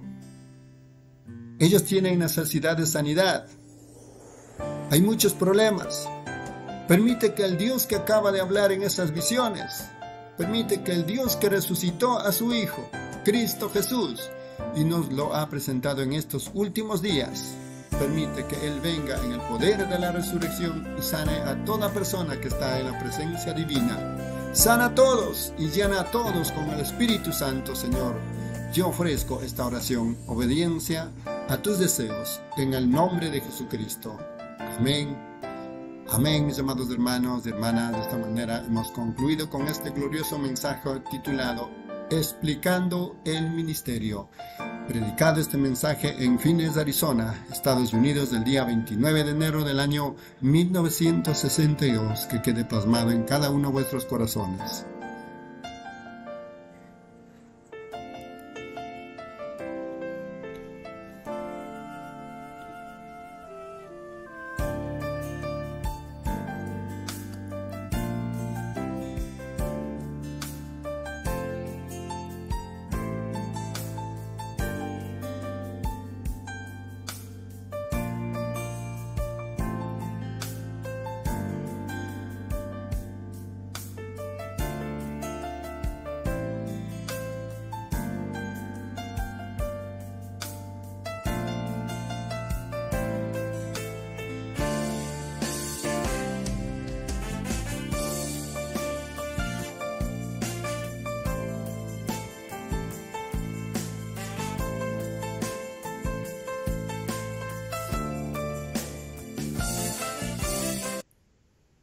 Amén, hermanos y hermanas. Dios le bendiga a todos. Vamos a continuar con este glorioso compañerismo y nuestro siguiente mensaje a ser lecturado se titula Comunión, predicado en Jeffersonville, Indiana, Estados Unidos, día 4 de febrero del año 1962. Iniciamos este nuevo mensaje, hermana Reina, en los párrafos 1 al 10. Amén. Dios le bendiga, hermanos. Continuamos con la lectura de los mensajes. Mensaje comunión. Párrafo 1. En mi garganta de varios, como 15 servicios allá en Arizona, tuvimos un tiempo maravilloso. El Señor Jesús nos bendijo excesivamente en abundancia. Tratamos de obrar un poco de la estrategia del Señor. Confío que esa sería la manera correcta de decirlo. Eso es entrar al lugar y disparar todo alrededor para comenzar. Yo entré algunos días antes y tuve como 10 o 12 servicios en todas las principales iglesias grandes por todo lo que es Phoenix Sunni, Eslope y Tempe y Mesa, y por esa región, y así disparamos alrededor, y lo dirigí todo a las cinco noches de la convención. Y fue la convención más grande que hemos tenido en Norteamérica. Fue muy grande, el desayuno más grande y también el, el banquete esa noche. Párrafo 2. Yo no podría decir cuántos recibieron el Espíritu Santo fue algo, fue algo tremendo. ¿Cuántos recibieron el Espíritu Santo? ¿Y cuántos fueron sanados y fueron salvos? Fue, fue algo maravilloso. Así que estamos agradecidos a Dios al ver el tiempo avanzando. Entraron muchos hombres grandes. Uno de los, esto le haré, perdón, esto le hará mucho bien al hermano Neville, yo vi a un ministro previsteriano, graduado del colegio previsteriano más grande de, la, de esta nación, danzando en el Espíritu. Oh, hermano, fue algo tremendo. Él recibió el Espíritu Santo. Y luego él me dijo, dijo, recibí una de sus cintas. Dijo, no era muy buena. Dijo, como que saltaba mucho, pero dijo, la llevé a mi colegio y la escuchamos. Y dijo, siendo él ahí el gran hombre de psicología, él los mantuvo todos quietos, pues cuando menos la pudieron escuchar una vez, dijo él, y dijo que tenía, y dijo que comenzó a danzar en el Espíritu en su iglesia, después que había recibido el Espíritu Santo, y le dijeron, reverendo, ¿cuándo va usted a aprender un paso nuevo? Él dijo, cuando mi congregación aprenda este, pensé que eso era muy bueno. Ustedes saben, la jerarquía previsteriana, sí, dijo, cuando mi congregación aprenda este. Así que esa es una cosa buena.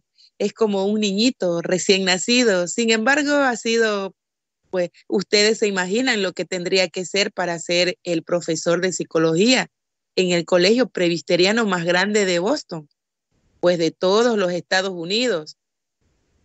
Párrafo 3. Yo vi a uno de los principales cirujanos del corazón de la Clínica Mayo predicar el Evangelio en el Espíritu y hablar en lenguas. Oh, hermano.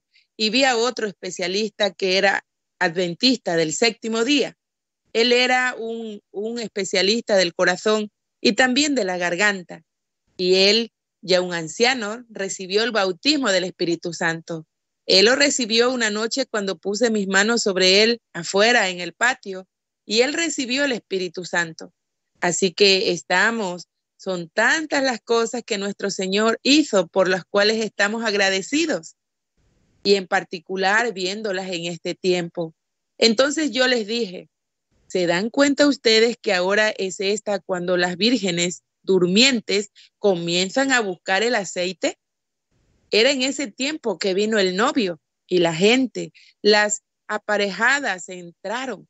Oh, estoy tan contento de saber que estamos viviendo aquí en estos últimos días. Yo creo que estamos viviendo en uno de los tiempos más grandes que el mundo ha conocido, en la víspera de la venida del Señor. ¿No es eso maravilloso? Piénsenlo, que en cualquier momento casi todas las escrituras se han cumplido y así que lo estamos esperando en cualquier momento y debiéramos vivir bajo esa clase de expectativa que en cualquier momento puede suceder. Manténganse en oración y listos. En alguna de las entrevistas hoy, yo en una conocí una misionera de Formosa, una mujer noble de 73 años y se ve como de 45 y aún es una señorita y debe haber sido una joven muy hermosa. Y ella dijo que había sido criada en un hogar cristiano donde él, sí, era, sí, él y él no, era no. Perdón, repito. Y ella dijo que había sido criada en un hogar cristiano donde el sí era sí y el no era no. Y así creció bajo esa enseñanza estricta.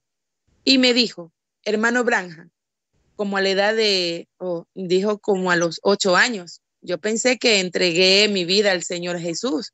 Dijo, como a los doce años yo fui convencida por un cierto ministro denominacional que yo debiera buscar la segunda bendición. Y dijo, yo fui muy engañada en eso. Pero dijo, como a los 17 años de edad, yo en realidad recibí el Espíritu Santo y ahora está acá de nuevo tratando de despertar a algunas de estas iglesias bautistas que están dormidas. Ella dijo que si había algo que ella había visto que estaba muerto, y ella misma es bautista, dijo, son estas iglesias bautistas muertas que hay aquí.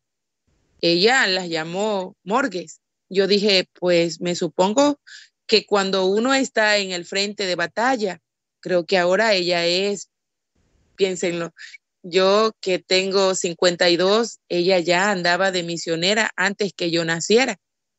Y luego yo pensaba que ya no podía salir del al campo misionero por causa de mi edad. Y luego pienso, Señor, perdóname. Párrafo 5. Y ella tan fina, tan lista y brillante como pudiera ser. Y me estaba relatando las experiencias que ha tenido por la jornada y cómo el Evangelio se necesitaba en Formosa y China y Japón y etcétera. Entonces la devolvieron del campo. Dijeron, usted sabe que después de los 70 años ya no puede salir al campo. Entonces la devolvieron, pero ella no se va a quedar quieta. Está asistiendo a todas las convenciones bautistas. Y ella dijo, Billy Graham dijo, a como él está llevando el mensaje bautista, es una vergüenza para la iglesia bautista dijo, no los lleva hasta el punto de recibir el Espíritu Santo. Dijo ella, oh hermana, manténganse con eso, eso está bien. Ella dijo, aquellos chinos allá, dijo que ella no les permitía seguir adelante y solo decir, nosotros creemos a Jesucristo. Dijo, eso estaba bien, pero dijo que ella los mantenía ahí hasta que algo sucedía y entonces llegaban a ser genuinos cristianos. Yo dije, así sucede, hermana, solo hábleles, manténganlos ahí hasta que algo suceda. Párrafo 6. ¿Qué tal si los apóstoles hubieran dicho después de nueve días, nosotros creemos que lo tenemos, ¿ven? Aceptémoslo por fe y sigamos con nuestro trabajo. ¿Ven? Eso nunca hubiera funcionado. Ellos esperaron hasta que supieron que algo había sucedido. Y ese es el problema con nosotros hoy en día. No nos quedamos lo suficiente. Pues por eso es que después podemos vivir cualquier clase de vida, hacer cualquier cosa. Nada nos molesta porque no nos quedamos ahí lo suficiente. Hoy estamos adentro, mañana estamos afuera, de esta y aquella manera. Si nos quedamos lo suficiente para entrar y cerrar la puerta detrás de nosotros, entonces permaneceremos allí. Uno es sellado hasta el día de nuestra redención. Amén. Estoy tan contento por eso. Párrafo 7. Y tuvimos un gran tiempo, como dije, en Phoenix y por todo el valle y con muchos de los cristianos allá, muchos de ellos fieles con toda su vida. Yo subí a Sounds Mountain, mi esposa que está sentada allí y yo un cierto día, nosotros, los amigos, mi hermano Doc estaba cuidando a las dos niñas y el hermano y la hermana Good cuidaron al niño. Y yo y mi esposa gozamos de una segunda luna de miel. Y ella dijo, Bill, tú sabes, esa fue más como una luna de miel que la primera. Dijo, la primera vez que fuimos en luna de miel, lo único que hice yo fue quedarme sentada en un campamento y esperar que regresaras de cacería. Así dijo. Yo usé un poco de estrategia, ustedes saben. Yo pensé, bien, ahora no tengo mucho dinero. Había estado ahorrando en una latita de polvo para hornear casi lo suficiente para ir de cacería y sin embargo me iba a casar ese otoño. Entonces pensé, haré un solo viaje, ustedes saben, y mientras iba de cacería, eso también sería la luna de miel, ustedes saben, así que lo consolidamos, pero en esta ocasión pudimos compensar aquello. Verdaderamente salimos y así tuvimos un gran tiempo. Párrafo 8. Y muchos de ellos eran de aquí, del tabernáculo.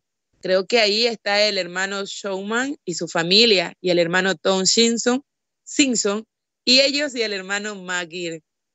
Y todos nos gozamos mucho en el Señor.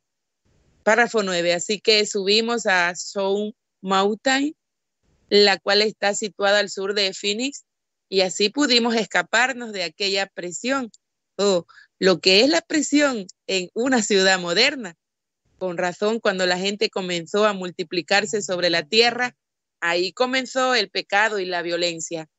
Y yo miré desde allá y sentados muy arriba para poder ver todo el valle de Phoenix, le dije a mi esposa, me pongo a pensar desde que hemos estado sentados aquí estos 15 minutos, ¿cuántas veces se habrá tomado el nombre del Señor en vano en esa ciudad?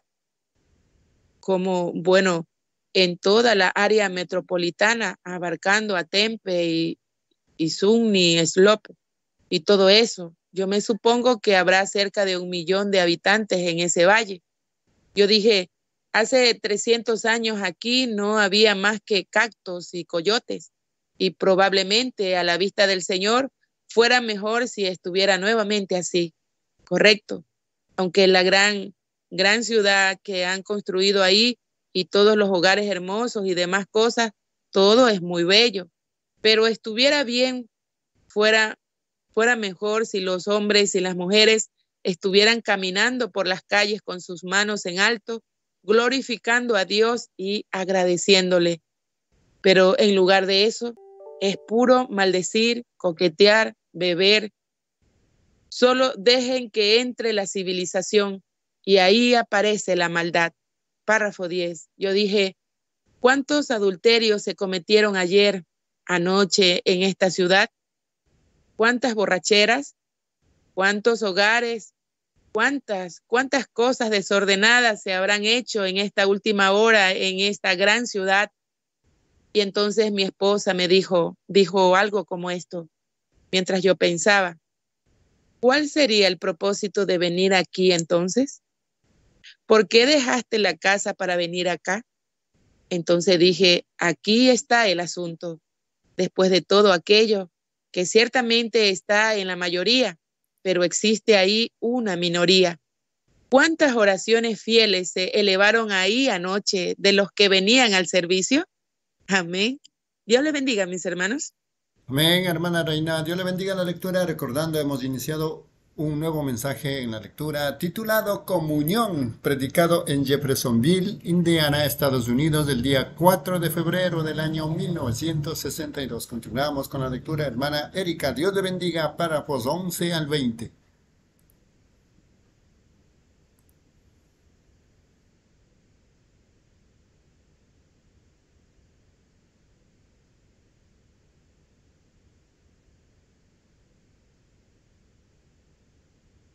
Dios le bendiga, hermanos y hermanas.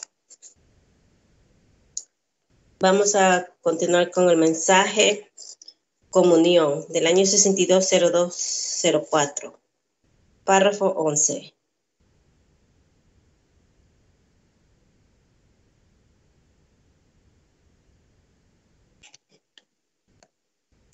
Y él fue tan bondadoso con nosotros, que las iglesias estaban llenas aún antes de la puesta del sol y uno no podía ni entrar en los jardines alrededor del lugar y las organizaciones y demás, y el Señor derramó de su espíritu y los bendijo. Y yo no me detuve en ningún punto, seguí dándoles el Evangelio.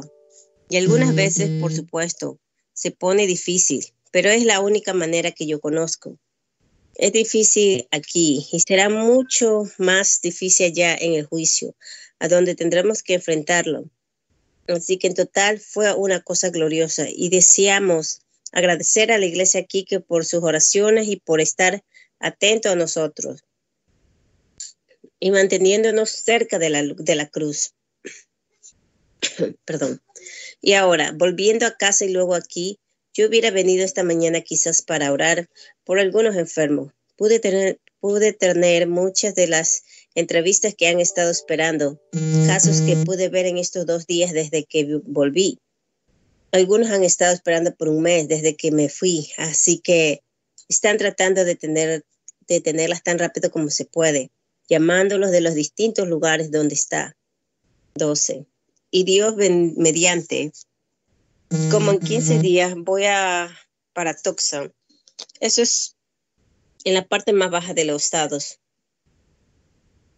Y en esta ocasión, para que pueda estar orando por esto, a mí no me, no me gusta estar haciendo, a mí no me gusta hacer ninguna cosa hasta primero saber qué es la voluntad del Señor. Ahora, la próxima convención será en Modesto y de ahí a Washington y el estado de Washington, y luego Zurich, y luego Palestina, y luego hasta Sudáfrica. Y todo eso será de aquí al mes de junio. Me invitaron para que fuera el predicar, fuera el predicador en toda esta convención. Y esto quizás me dé la oportunidad de entrar nuevamente a Sudáfrica. Sus llamadas, a cada mes nos llegan invitaciones, pero si uno, trece, existe una gran división entre las iglesias, las iglesias pentecostales. Y si uno va con un lado, los otros no tienen nada que ver y no pueden cooperar juntos. Así que yo me he detenido ahora como por unos cinco años con un llamado en mi corazón de ir. Y ahora, quizás si los hombres de negocios me llevan, suficiente para establecerme. Ellos tienen gente de ambos lados. ¿Ven? Entonces, así todos llegan. Todos tendrían que llegar a cooperar a eso por razón de las necesidades financieras de su, de las necesidades de sus iglesias. Estarían ahí entonces, tendría que venir para salvar las apariencias. ¿Ven? Así que quizás sea la voluntad del Señor. Sin embargo, yo no sé. Suena bien, pero yo no sé. 14. Y luego en este año, el hermano Borde me ha dado el itinerario, o más bien las invitaciones, y les digo la verdad. Era un libro del el doble de grueso de esto aquí, las cuales han llegado desde la Navidad pasada, invitaciones. Es demasiado para una mente humana intentar resolverlo. Por lo tanto, no acepté ninguna. Solamente voy a aceptar un servicio y luego esperar para ver a dónde me dice el Señor que vaya de ahí. Luego iré al siguiente y al siguiente y, donde Él me diga que vaya. Así que ustedes oren por mí. Me acuerdo el año pasado allá con el hermano, o la hermana Cox, cuando el hermano uh, me llamó para acompañarlo en aquel viaje en uh, Anchorage. ¿Cómo fue si yo, cómo fuera si yo hubiera ido allá, suponiendo que era lo correcto? Ahora, pensando en eso, suponiendo, yo prediqué sobre un tema de este título. Yo le dije a los muchachos que graban la cinta, no hay por qué llevar cinta. No vayan con la idea de grabar. Voy a predicar sobre los mismos temas que ya prediqué aquí. Creo que prediqué un solo tema que ya había predicado aquí. Los demás eran todos nuevos y el hermano Maguire los, los tiene, todos ellos. 15. Suponiendo entonces, si yo hubiera salido hacia allá, suponiendo, ciertamente hubiera resultado muy distinto a cómo fue. La visión no se hubiera cumplido, pero la visión se cumplió y todos ustedes están conscientes de eso. Como el Señor nos bendijo. Ahora hay otras cosas que ha estado en mi corazón por mucho tiempo. Iglesia, oren por esto. Todos ustedes que están aquí saben que desde que yo era muchacho no he estado satisfecho aquí en este país. Con todo mi corazón siempre he anhelado por el oeste y me acuerdo de cuando estaba cortándole la grama para mi suegra, ahí en el lugarcito que pertenecía a la, iglesia, que ese lugar, yo estaba sentada en los escalones y el Espíritu Santo me habló.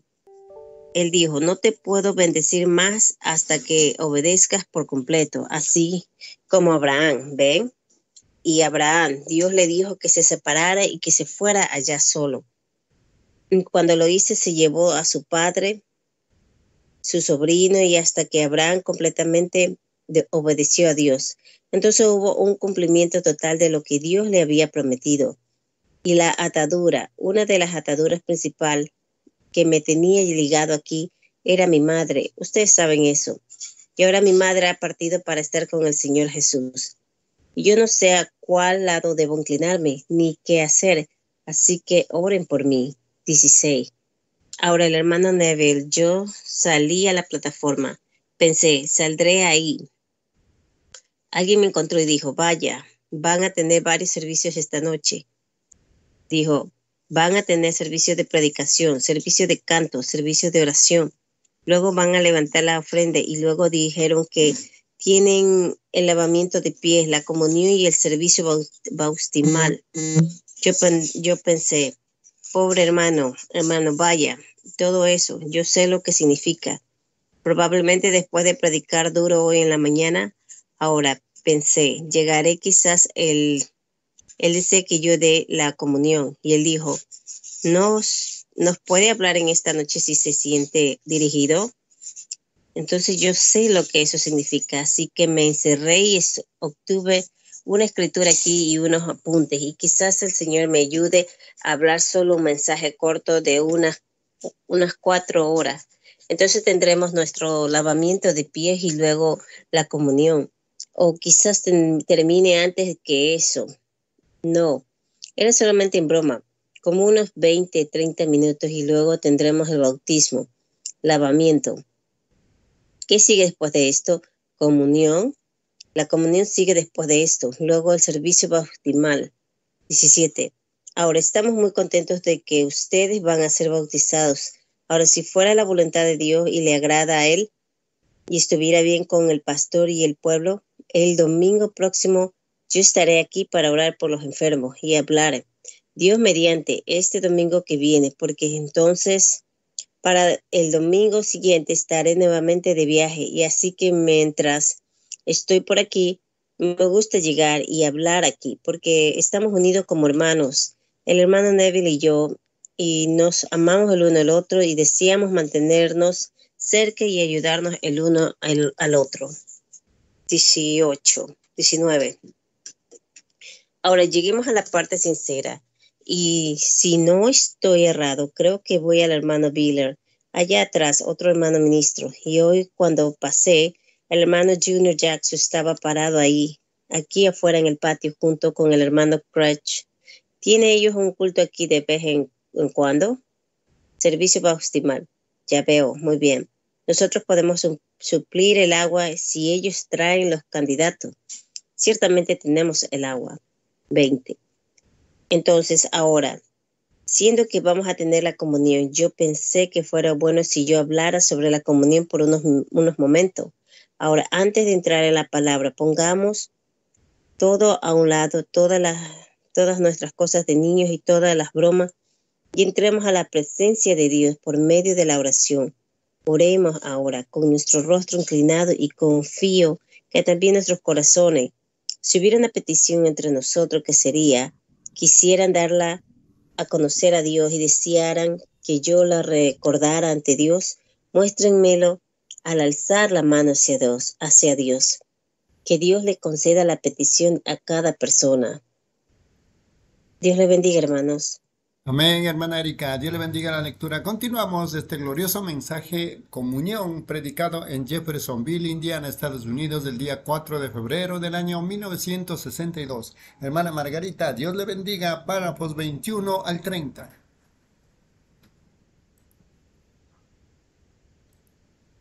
Sí, hermanos, ¿me escuchan?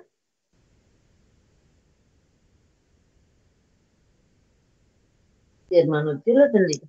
Continuamos con la lectura de grandioso mensaje, el privilegio de este mensaje comunión del año 620204, párrafo 21.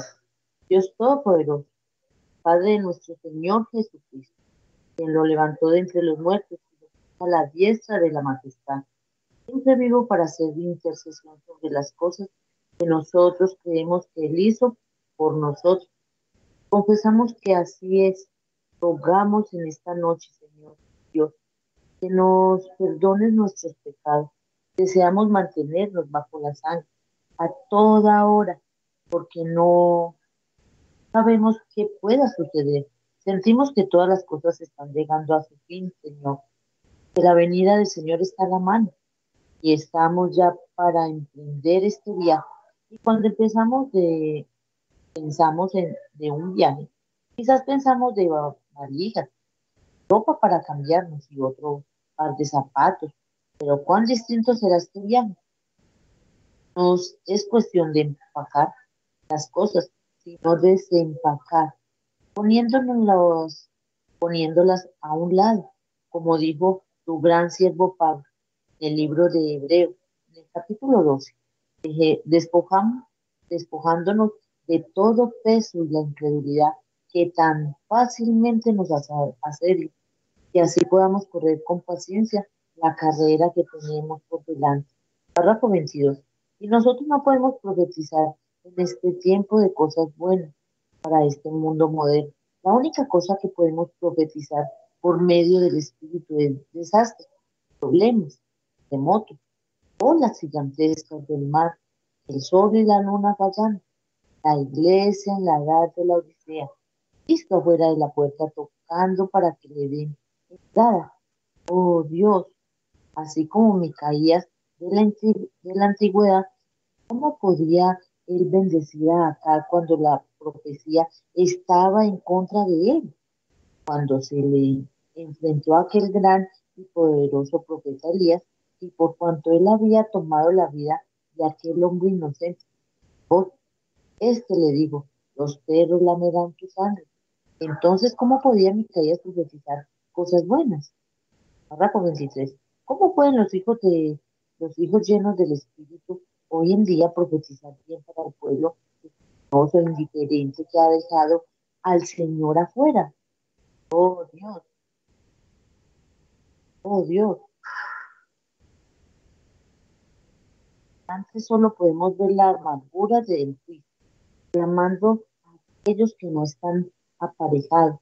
Muchas gracias, Señor, porque Él es el peñasco en tierra calurosa. Él es el refugio en tiempo de tormenta. Y el nombre del Señor es una torre fuerte a la cual corren los justos y son levantados. ¿Cómo? Como pensamos en aquellos grandes, grandes ciudades de refugio que construyeron y cuando el que las perseguía, habiendo entrado en esta, la torre, ahí él estaba seguro nada le podía tocar. Oh Dios, permite que corramos rápido al Señor, por cuanto Él es nuestro refugio, nuestra fuerza, nuestro pronto auxilio en las tribulaciones. Hay que admirar por el loco de, águila, ¿cómo diríamos que está formando el problema? Las nubes están agitando, los truenos y los relámpagos de están llegando a la tierra. Sabemos que la tormenta está a la mano. Párrafo 24. Señor, en esta noche oramos por estos que han levantado sus manos. Yo no sé qué desean, Padre, pero tú sí. Yo ruego que tú suplas cada cosa para sus almas, por lo cual fue levantada esa mano. Concédelo, Señor, sana a los enfermos, consuela a los cansados, da gozo a los oprimidos, dales paz a los cansados, alimento a los hambrientos, bebida a los sedientos, gozo a los tristes, poder a la iglesia. Señor, trae Jesús entre nosotros esta noche, mientras estamos preparando, preparándonos para tomar la comunión, lo cual representa su cuerpo partido. Rogamos, Señor, que Él nos visite en una forma sobresaliente. Bendice a esta pequeña congregación, su amado pastor, nuestro hermano Neville y su los diáconos, los síndicos y toda persona presente. Bendice a las damas, Señor, alrededor del mundo que están esperando con gozo la venida del Señor, con las lámparas aparejadas y los cristales de las lámparas limpias, la luz del Evangelio brillando en lugares oscuros. Ahora, Señor, ayúdame a mí como estas pocas palabras, con estas pocas palabras.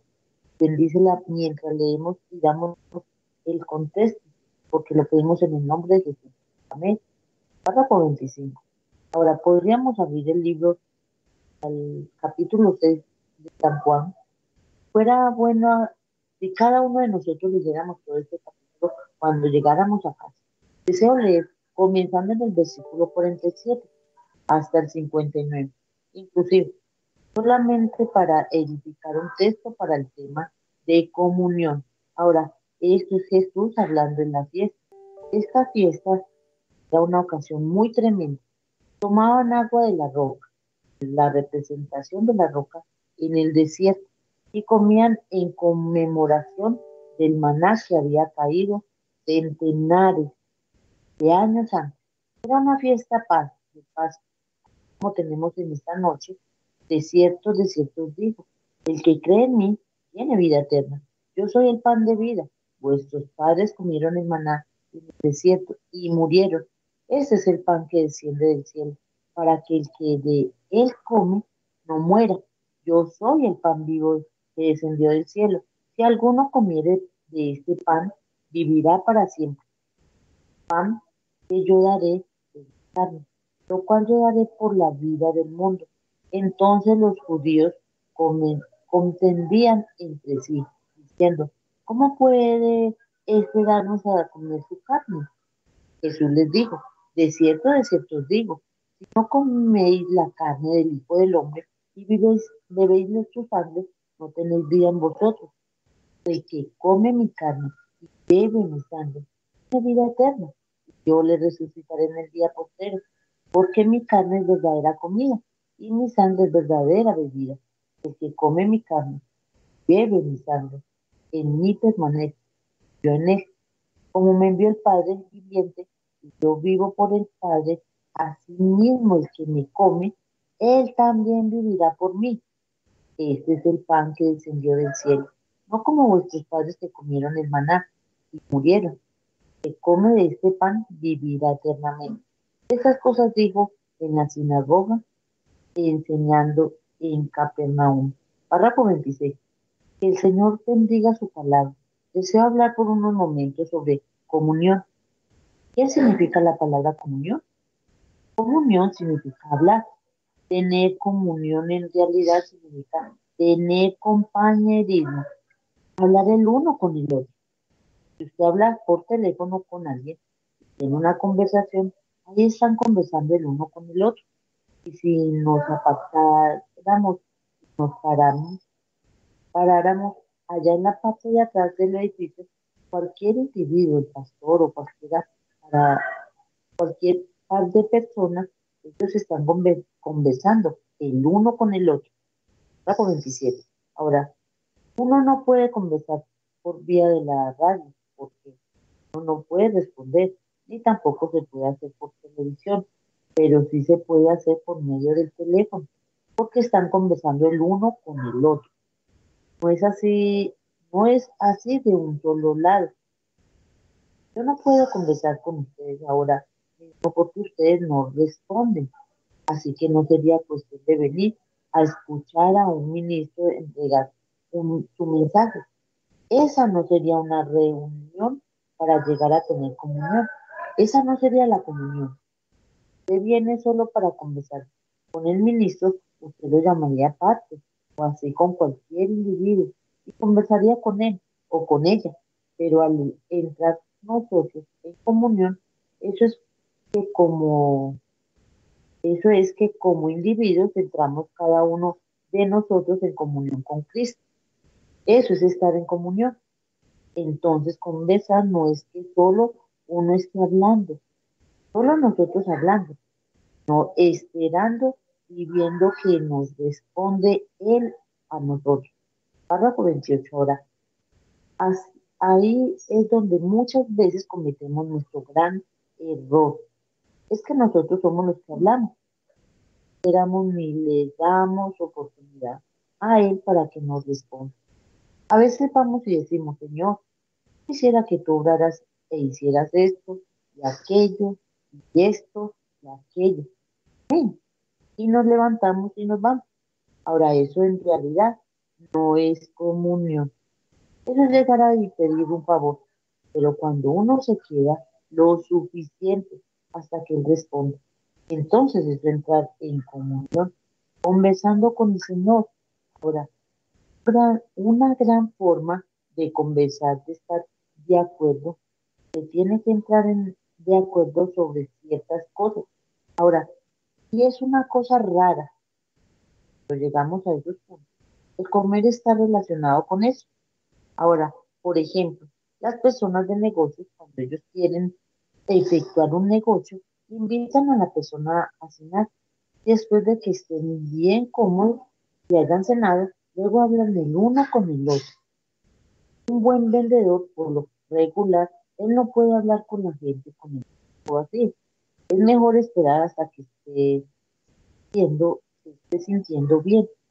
Y así después de que se haya desayunado, no vaya a levantar la gente la cama y tratar de hablarle de algo que él quiere vender. No mejor espere hasta que se haya desayunado y todo esté en la condición correcta. Párrafo 29. Y el otro día predicando acerca de la mujer que lavó los pies a Jesús, yo estaba ya en Canadá hablando de esto, diciendo que cuando un invitado llegó a la casa de alguien, esta persona tenía ciertos procedimientos por los cuales se tenía que pasar antes de que en realidad se sintiera digno de llegar de visita o conversar. Una visita es una comunión. Ahora, llegaban a la invitado, primero uno tenía que ser invitado. Entonces uno llegaba a la puerta y un mozo le lavaba los pies porque el viajar uno tenía el olor de los, de los animales, etc. Pero el camino, todo. La gente viajaba por el mismo camino con las bestias. Y había un olor y el polvo y el ropaje palestino lo levantaba todo y reposaba en el sudor de las piernas, también en la cara donde estuviera descubierto, sobre las manos y los paraban en la fuerza. Esto lo hacía el mozo, le lavaba los pies y luego enseguida había otro hombre con una toalla y un albastro y rociaba este albastro al, a la base, perdón, en las manos y se los lavaban así por la cara y cuando tomaban la toalla se sacaban, así se quitaban todo el polvo y el mal olor. Tenía algún ingrediente que los refrescara, algo como un mentol y, los hacía sentirse mejor. por 30 para terminar. Y luego cuando entraban con aquellos zapatos sobre esas alfombras tan finas, tenían como unas zapatillas. Con esas entraban Y así entraba el invitado. Y entonces el anfitrión le daba la bienvenida con un beso. Y ven,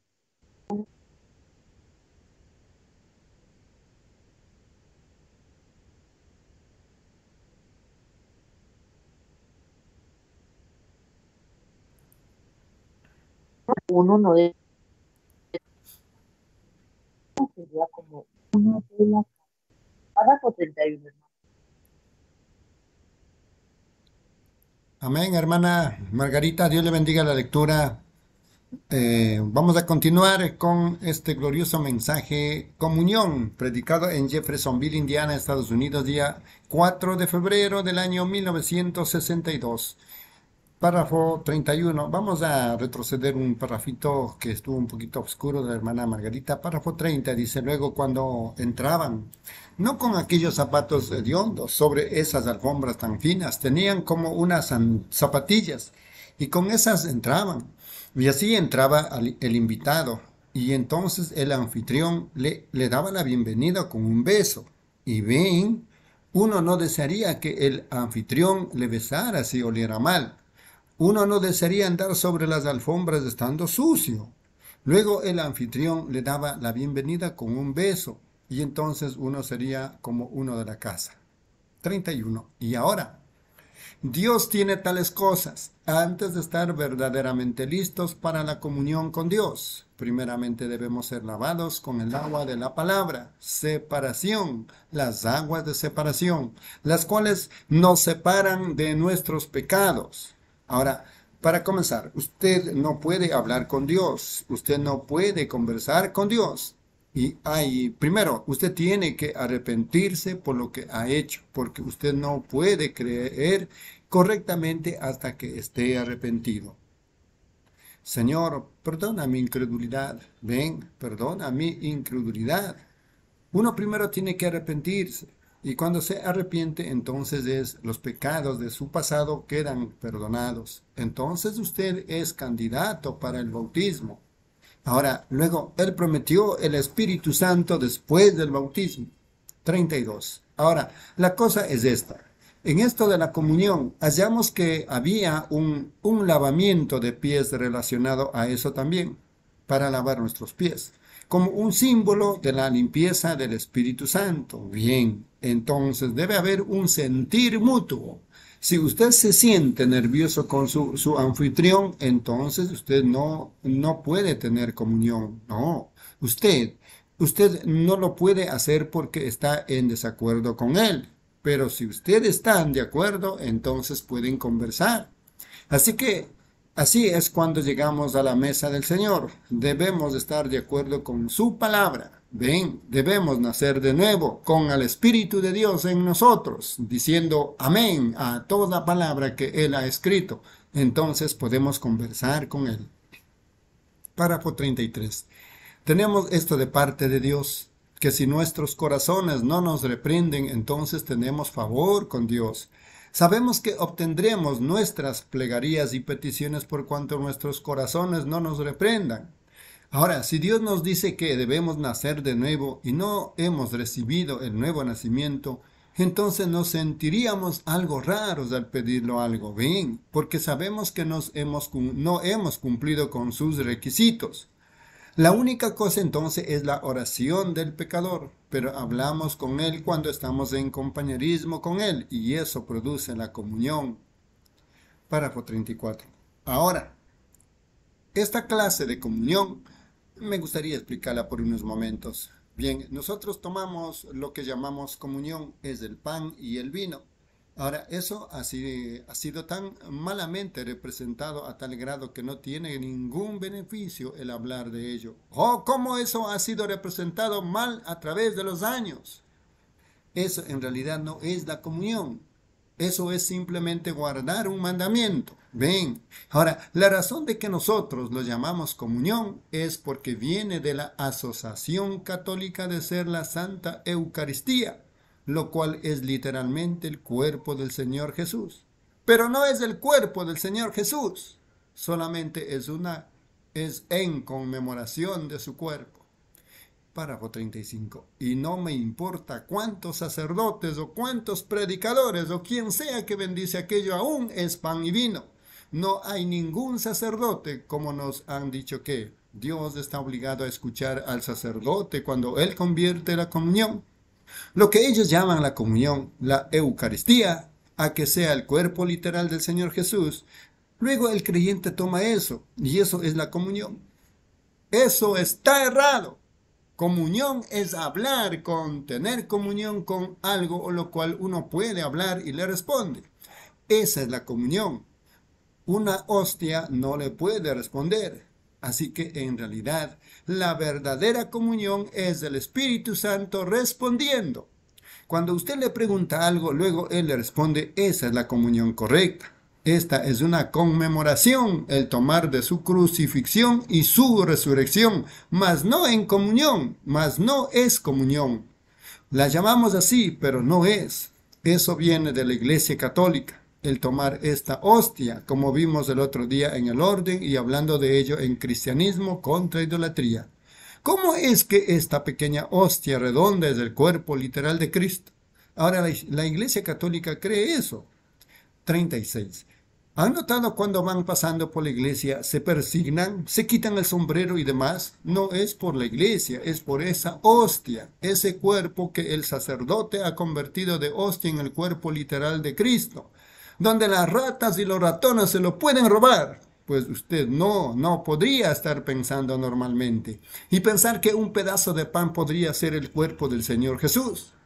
No puede ser. Comunión es hablar y que la responde algo a lo cual usted le habla. La misma palabra conversar significa hablar con o estar asociado con algo que le está respondiendo a usted. Y Dios le responde a usted conversando. Y aún es del pan y el vino que nosotros llamamos comunión. Párrafo 37. Ahora, Jesús dijo aquí, como he leído, mi cuerpo es carne y es bebida, mi sangre Cuerpo y sangre son carne y bebida. Ahora deseamos pensar en Jesús y asociarlo lo que Él fue. ¿Qué es su cuerpo? ¿Qué es el cuerpo de Cristo? Es el cuerpo de creyentes que están asociados con Él en el Espíritu Santo. No algún ídolo, no un pedazo de pan, sino más bien un espíritu que está en el corazón del creyente y están asociados, que así Dios y el hombre puedan conversar, hijos e hijas de Dios. El hombre mortal y por medio del derramamiento de la sangre, lo cual produjo la remisión de pecados. Y este hombre y esta mujer, muchacho muchacha que tienen compañerismo con Cristo, están en comunión con Él, el cuerpo. Párrafo 38. Así como un esposo y una esposa se sentarían para conversar algo, o un joven y su novia, Cristo y su iglesia están conversando. Por eso es que podemos escuchar de parte de Él y poder ver el futuro antes que llegue y podemos predecir el futuro que es perfecto por cuanto conversamos con un Dios que tiene la eternidad en su mano, conversando uno con el otro, el cuerpo de Cristo, el cuerpo de Cristo místico y espiritual, no asociado con ninguna clase de ídolo o pan o, vino, pero en una, una forma espiritual.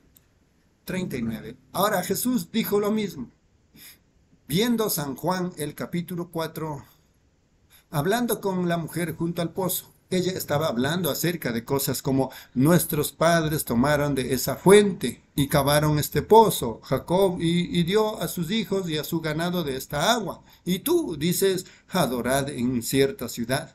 Y otros dicen, en este monte.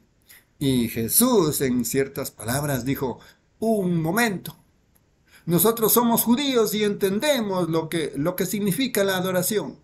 Pero mujer, escucha esto, la hora viene y ahora ya es, cuando los verdaderos adoradores adorarán a Dios en espíritu y en verdad. Tu palabra es verdad, y el Padre busca a tales que le adoren en espíritu y en la palabra, la verdad. Tu palabra es verdad. Bien, le dijo eso a la mujer. Párrafo 40. Por último, ven, Cristo, Dios es un espíritu. Cristo significa el ungido, un hombre ungido de Dios, lo cual hacía, hacía de él el Cristo. Ahora, Cristo dijo, yo soy carne y bebida, no una hostia, no una hostia que se toma aquí, eso no es Cristo. Él vino que tomamos en el altar no es Cristo. Lo representa a Él en una forma figurada, pero Cristo es el Espíritu Santo. La unción que está sobre la iglesia, esa es la carne y la bebida. Amén, mis amados hermanos y hermanas. Qué glorioso mensaje que nos ha tocado lecturar.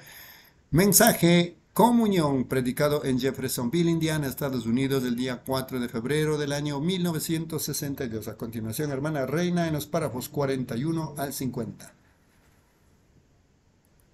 Dios les bendiga, mis hermanos. Continuando con el mensaje Comunión. Párrafo 41. El clamor más grande que existe en todo el mundo, espero que ninguno de ustedes lo hayan oído, pero si lo han escuchado, no hay ningún clamor que iguale el clamor del hambre.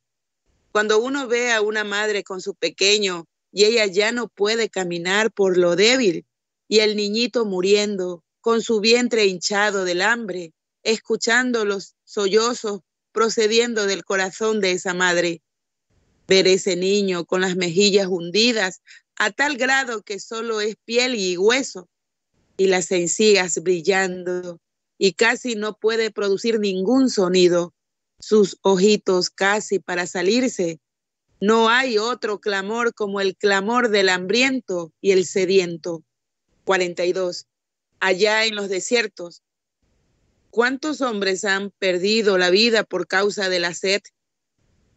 Muchos relatos que podría mantenerlos aquí toda la noche con relatos verídicos del desierto.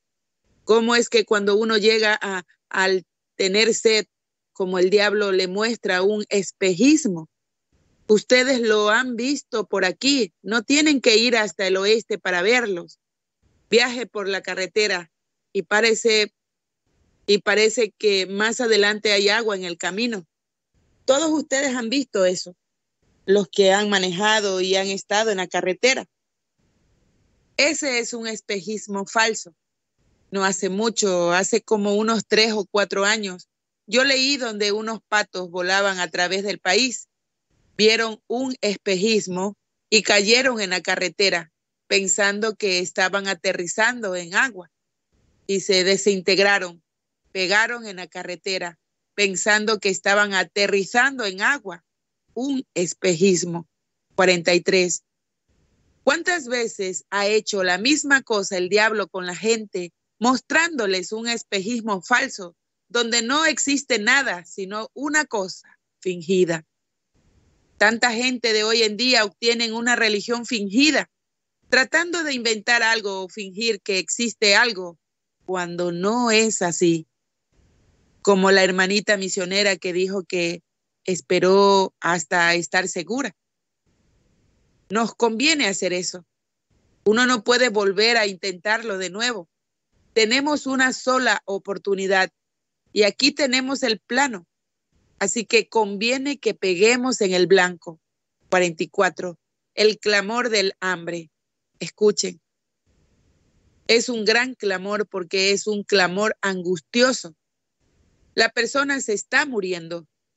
Y oh, si pudiéramos llegar a ese lugar, si esta nación pudiera llegar al lugar en donde estuviera hambrienta por Dios, esta es una condición de hambre peor que las naciones como la India, las cuales están pasando hambre físicamente. Esta nación está pasando hambre espiritualmente, pero después de pasar hambre por tanto tiempo, uno llega al grado que no sabe que tiene hambre, así como congelarse. Después de que uno llega a cierto grado de congelación, uno se pone tan frío que después de un rato uno se siente caliente. Y cuando llega a ese punto, se está muriendo. Y ese es el problema en esta noche. Las iglesias se han enfriado a tal grado que en realidad se están congelando. Más piensan que están calientes por la cantidad de miembros y se están muriendo espiritualmente. Muriendo. No lo saben. Por fin el individuo se acuesta a dormir y ahí termina. Nunca más va a despertar porque la sangre se le ha congelado en las venas. 45. Ahora, estar sediento. Jesús dijo, Mi sangre es verdadera bebida. Si usted tiene hambre de vida, hambre de vida, Jesús tiene el único agua que puede saciar esa sed. Venid a mí, todos los que estáis trabajados y cargados. En Apocalipsis dice, y el que tiene sed, venga a las fuentes del agua de la vida y beba gratuitamente. Si usted tiene sed de vida. 46. Vemos que los astrónomos están pronosticando algún tiempo a principios del mes, comenzando como para el segundo día o el quinto, o en alguna parte de este mes, los astrónomos hindúes están pronosticando que el mundo va a explotar en pedazos. Y los periódicos americanos se están mofando de eso. Yo no creo que el mundo va a explotar en pedazos, pero sí digo que es un error el estarse mofando de eso porque algo está a punto de suceder un día de estos, algo similar a eso, cuando los cinco planetas, Marte, Júpiter y Venus, y etcétera, llegan a su, nunca lo han hecho, o dicen que allá hace 25 mil años, pero ¿quién estuvo allá para saberlo? 47. Yo predigo que esto tiene una aplicación espiritual yo creo que es la entrada del descenso de Dios, que la gran revelación de la palabra se abrirá durante este tiempo. Recuerden, dicen que fueron tres estrellas que entraron en la órbita cuando nació Jesús. Y estos son cinco. Y cinco significa gracia, el número de gracia. Tres es el número de la perfección. Cinco es el número de la gracia. J-E-S-U-S, G-R-A-C-T-I-A, F-E, etc. Estas palabras tienen cinco letras en inglés, el número de la gracia. Si Dios llega a enviar su poder a la iglesia, será por su gracia, no por la obediencia del pueblo. E Isaías dijo en el capítulo 40, como se debe clamar a Jerusalén que su tiempo ya es cumplido. Sin embargo, ella era culpable de idolatría. Más fue la gracia de Dios que lo enviaba. Si Dios nos envía algo a nosotros, será por su gracia y no por nuestros méritos. Así que eso quizás signifique algo. Yo predigo que sí habrá un cambio. Yo no sé qué será, pero creo que está a punto de suceder. Estamos en la, en la víspera de eso ahora mismo. Y si algún hombre tiene hambre, que venga Cristo. Si algún hombre tiene sed, que venga Cristo. Él sacia la sed. Él es el que satisface toda nuestra sed y hambre. 48. Me contaron este relato hace algún tiempo. Quizás lo conté en esta iglesia. Si ya lo conté, perdónenme por repetirlo, pero solamente para dar en el clavo. Había un guía indio, como un supervisor entre los indios. Él estaba viajando por el territorio navajo y se perdió. Se llamaba Koi y estaba bajando por un sendero, un sendero angosto de animales, y pensó, si me voy por este sendero, seguramente hallaré agua y su caballo tenía tanta sed que tenía la lengua afuera, seca. Las narices las tenía rojas y cubiertas de arena. Él se había cubierto la cara con el pañuelo cuando pasó por la tormenta de arena y estaba todo tieso. Y él estaba pereciendo por falta de agua. Y él estaba guiando a su caballo cuando atravesó el sendero. Y dijo, cuando entró el sendero, se subió al caballo y dijo, seguramente me conducirá al agua. Y se montó al caballo y siguió el sendero. 49. Y el caballo también sabía que estaba camino al agua. ¿Cómo es que Dios les da instinto a las bestias mudas? Y por el sendero se fue. Por fin había unos que se salían hacia los lados, unos pocos, apartándose del sendero principal. El caballo deseaba seguirlas, mas Koi pensaba distinto. Él trató de mantenerlo en el sendero bien marcado, y comenzó a bajar y el caballo no quería ir. Le dio con las espuelas y se le opuso y comenzó a seguir el otro camino y comenzó a levantarse. Tom estaba demasiado débil para tirarlo. 50. Entonces él comenzó a darle de nuevo con las espuelas hasta que hirió el caballo en la desesperación de llegar al agua para salvar su vida, hasta que el caballo se detuvo, temblando, sangrando. Y él miró y lo vio temblando y casi por caerse al suelo. Él lo miró y vio la sangre en su costado. Él era cristiano y le dijo al caballo, dijo, yo he escuchado muchas veces que los silvestres o que las bestias tienen un instinto. No pareciera que esos caminitos que se desvían hacia allá fueran hacia el agua. Me parece que este sendero más amplio sería por donde van muy seguido al agua. Pero dijo, si tú me has llevado fielmente hasta aquí, yo seguiré tu instinto. Amén. Dios le bendiga, mis hermanos. Amén, hermana Reina, Dios le bendiga la lectura. Continuamos. Comunión, predicado en Jeffersonville, Indiana, Estados Unidos, día 4 de febrero del año 1962. A continuación, hermana Erika, en los párrafos 51 al 60. Dios le bendiga, hermanos. Continuamos con el mensaje La Comunión del año 620204, párrafo 51.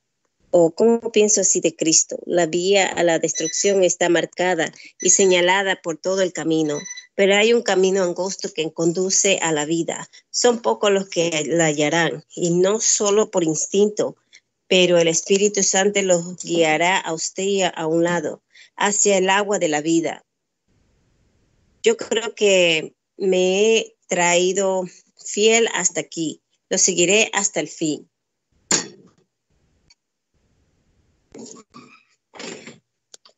$52. Ido ni para concluir el relato. Él no había media milla. De repente el caballo fiel se metió a un gran charco de agua.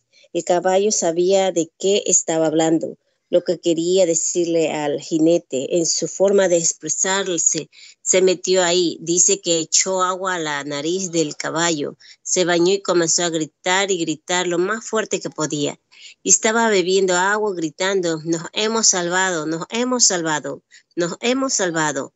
Y el caballo bebiendo y temblando, y él se fijó en sus costados sangrientos, todo hinchado por las marcas de las espuelas 53. Y en eso dijo, escucho a alguien decir, sálganse del agua. Y miró y ahí estaba parado un vaquero desfigurado y se salió del agua.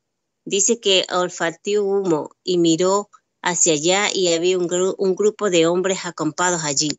Habían estado en un viaje de exploración. Habían encontrado algo de oro y en el camino de regreso tenían sus caballos y las mulas de carga y habían llegado a este charco de agua y estaban descansando y todos se habían emborrachado y dicen que tenían venado que estaban cocinando y él comió con ellos y dice, uno de ellos dijo, tómate un trago. Él les dijo quién era, que era Jacoy y el guía indio. Así que este le dijo, pues tómate un trago. Él dijo, no, dijo, yo no tomo. Y eso es como un insulto a esa gente. Entonces dijo, con nosotros sí vas a tomar.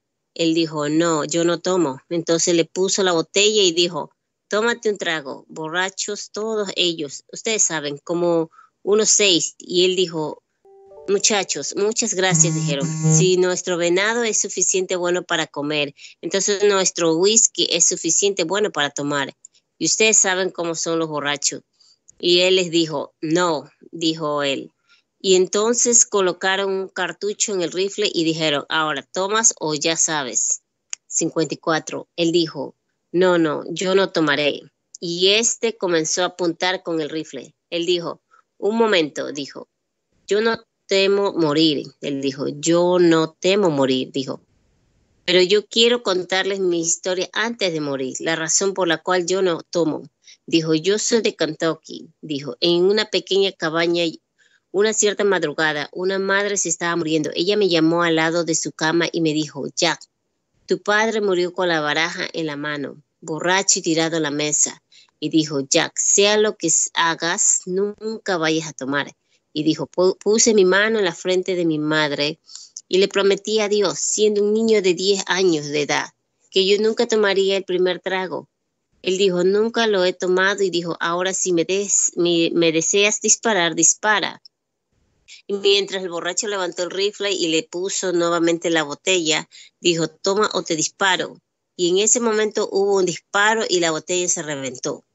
55. Parado a un lado del cañón estaba un pequeño vaquero desfigurado, con lágrimas por los mejillas, dijo Jack. Yo también soy de Kentucky. Yo, he, yo le hice una promesa a una madre un día, pero yo rompí mi promesa, dijo. Yo estaba esperando hasta que estos se, se emborracharan y los iba a matar a todos y robarles el oro. Él dijo, pero yo he sido un borracho y he hecho mal. Pero dijo, Estoy seguro que cuando se oye el eco de mi rifle en los cañones del cielo, mi madre me oyó firmar un juramento de que nunca más lo haré. Y allí, por la gracia de Dios, Él pudo guiar a toda esa gente a Cristo, a todos los que estaban ahí. ¿Ven? Hay algo en cuanto al agua, algo refrescante. Mi punto clave es que cuando uno tiene se vaya al agua, hay algo que le hace a uno el llegar a agua cuando está sediento. Ahora él dijo, mi paz os dejo con vosotros, mi paz os doy, no como el mundo les da paz, sino como, el, como él les da paz. Su paz satisface nuestra sed. Si nosotros estamos ansiando paz, entonces refresquémonos en su paz al saber que tenemos paz con Dios por medio de nuestro Señor Jesucristo. Él es nuestro dador de paz que calma nuestra sed. 56, el versículo que dice, Él es verdadera carne y bebida. Yo tengo una anotación aquí en el versículo 57, carne y bebida verdadera. Escuchen lo que dice aquí, como me envió el Padre viviente y yo vivo por el Padre, asimismo el que me come, él también vivirá por mí. En otras palabras, el Padre me envió a mí y yo vivo por medio de él. Y todo hombre que viene a Cristo tiene que vivir por medio de Cristo. Oh, vaya, ahí lo tienen. Esa es la comunión. Esa es la comunión verdadera que usted encontrará cuando vive por medio de Cristo. 57. Ahora, nuestros cuerpos necesitan alimento y bebida cada día para sobrevivir. Nuestros cuerpos físicos. Si nosotros no tomamos alimento y bebida cada día, nuestro cuerpo se pone débil. Hay algo por dentro de nosotros por lo que necesitamos alimento. El alimento de un día no dura para el día siguiente. Uno tiene que tomar alimento cada día para reforzar su cuerpo mortal. Uno puede vivir otro día, pero está más, más débil y al segundo día uno está aún más débil y para el tercer día ya se están poniendo demasiado débil. Pues eso es lo que hacemos muchas veces a nivel espiritual. Vean, a diario tenemos que conversar con Cristo, tenemos que hablar con él, con él cada día. Cada día tenemos que arreglar las cosas con Él. Pablo dijo, yo muero cada día, ven, cada día muero, sin embargo vivo, pero yo, pero no yo, sino Cristo vive en mí. Entonces, si su cuerpo físico necesita alimento cada día y bebida cada día, para sobrevivir, su cuerpo espiritual necesita de alimento espiritual y comunión con el Señor cada día para sobrevivir. Sí, Jesús dijo, no solo de pan vivirá el hombre, sino de toda palabra que sale de la boca de Dios. Entonces, a diario tenemos que estudiar la Biblia. Alguna gente no la estudia en lo absoluto, algunos la abren dos o tres veces al año, pero aún pero un verdadero, verdadero creyente que en, verdad está edificado espiritualmente, él lee su Biblia todos los días y habla con el Señor. Correcto, lo tiene que hacer no solo de pan vivirá el hombre, sino de todas palabras que sale de la boca de Dios. 58. Ahora, otra razón por la cual tomamos alimento es para reforzar nuestro cuerpo para que pueda resistir las enfermedades. Si usted no se alimenta y permite que se debilite su cuerpo, entonces está sujeto a las enfermedades. Enfermedades entrarán al torrente sanguíneo y usted ahí termina. Si su sangre no es fuerte y pura, entonces las enfermedades pueden entrar en su torrente sanguíneo. Entonces usted tiene que comer alimento bueno y nutritivo para mantener su torrente sanguíneo en buenas condiciones. Si no lo hace, entonces tendrá alergia de las enfermedades. Eso es lo que les pasa a muchos cristianos. 59. Son como plantas de invernadero. Ustedes saben, si toman una planta de invernadero, la tienen que mimar. No conoce el clima, no conoce el sol y cosas. Ha estado protegida y mimada. Eso es lo que pasa con demasiados así llamados cristianos. Son plantas de invernaderos, correcto, sujetos a todo animal que pasa por ahí. Ustedes saben, solamente son las solamente son las plantas delicadas que tienen que ser rociadas o las plantas híbridas. 60. Ustedes saben, pueden soltar a una vaca Hereford al campo y a la vez soltar un res de cuernos largo. La red de cuernos largo puede sobrevivir porque es de raza original, pero una raza brown goose en Hereford, que son de raza cruzada y son híbridas, son mejores vacas al verla. Seguro, más gordas, más sanas, pero si las suelta en el campo no pueden sobrevivir, morirán. Tienen que ser mimadas. ¿Ven? Ese es el problema de hoy en día. Tenemos cristianos mejor vestidos, iglesias más grandes y mucha educación, mucha teología. Pero siempre tienen que ser mimados. Uno tiene que estar mirando a través de su lente o de otra forma no está viviendo nada. Lo que necesitamos son unos cristianos de sangre pura, nacidos bajo la sangre del Señor Jesús, que no viven por la teología de la iglesia, pero más bien por la palabra de Dios, la comunión con Cristo, la palabra entrando el creyente. Su cuerpo espiritual está reforzado, no un mimado de invernadero. Dios le bendiga, hermanos. Amén, hermana Erika. Dios le bendiga. Continuamos. Mensaje, comunión predicado en Jeffersonville, Indiana, Estados Unidos, el día 4 de febrero del año 1962. Voy a continuar en los párrafos. 61 dice, hubo un cierto ministro que dijo hoy, yo lo escuché decir en una difusión, dijo que cuando entró al país tenía un problema grave de los senos nasales y estaban hablando de una operación. Y dijeron que iban a hacer esto y aquello y lo iban a cortar y operarlo y sacar una parte de las glándulas de los senos nasales lo cual le produciría una hendidura en la cara y etc. Y dijo que había tomado píldoras por barriles. Parecía que habían tantas píldoras que él tenía que tomar. Pero cuando llegó con un buen doctor cristiano, el doctor dijo, olvidémonos de las píldoras y olvidémonos de la operación y reforcemos el cuerpo para que pueda resistir las, las sinusitis. Eso es. 62. ¿Qué pasa que la gente no vive tanto como antes. Tenemos que tomar una vacuna para esto y una vacuna para aquello y rociándonos con toda clase de medicina. ¿Qué hace eso? Nos hace blandos, gordos, flojos, inservibles. Cuando los hombres de hace años, pues nosotros tenemos alergias de todo. Ahora tienen toda clase de alergias y todo lo demás. Estuve en África, no podía tomar la vacuna contra el paludismo, pero si un mosquito con paludismo reposara sobre mi mano, yo tendría paludismo. No zumban. Y uno casi no sabe. Aterrizan, se le pegan, eso es. Usted lo tiene. Si vive, lo tiene que, lo tiene por 15 años. Y a veces uno muere con eso. Y ahí estaban aquellos nativos en sus casuchas, con las piernas llenas de mosquitos, ellos desnudos. Tenían mosquitos pegados, mosquitos de paludismo, y no les afectaba, porque ellos habían desarrollado una inmunidad. Ellos tenían una vacuna de parte de Dios. Párrafo 63. Y eso es lo que pasa hoy en día con la gente. Eso es lo que pasa a la iglesia. Tenemos tantas vacunas infantiles y, y teología humana al grado que estamos todos rociados. Lo que necesitamos es la vacuna de Dios, de la palabra del Señor Dios.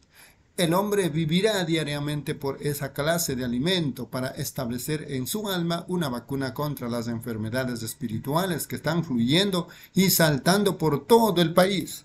Tengo muchos apuntes al respecto, pero tengo que terminar. Párrafo 64. Ahora, desarrollese, prepárese para la vacuna. Ahora, nosotros vivimos por medio de esto. Nuestros, nuestros cuerpos necesitan esto. Y si no, no lo tenemos, entonces estamos sujetos a toda clase de enfermedades.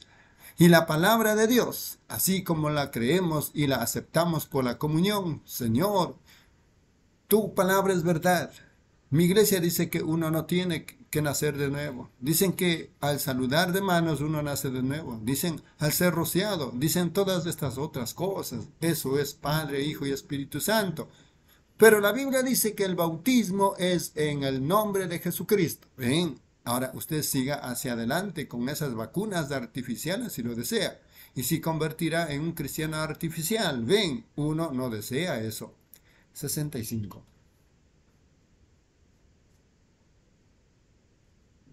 No se puede obtener la vida sino solo por Cristo. Y ahora, ¿qué hace su palabra?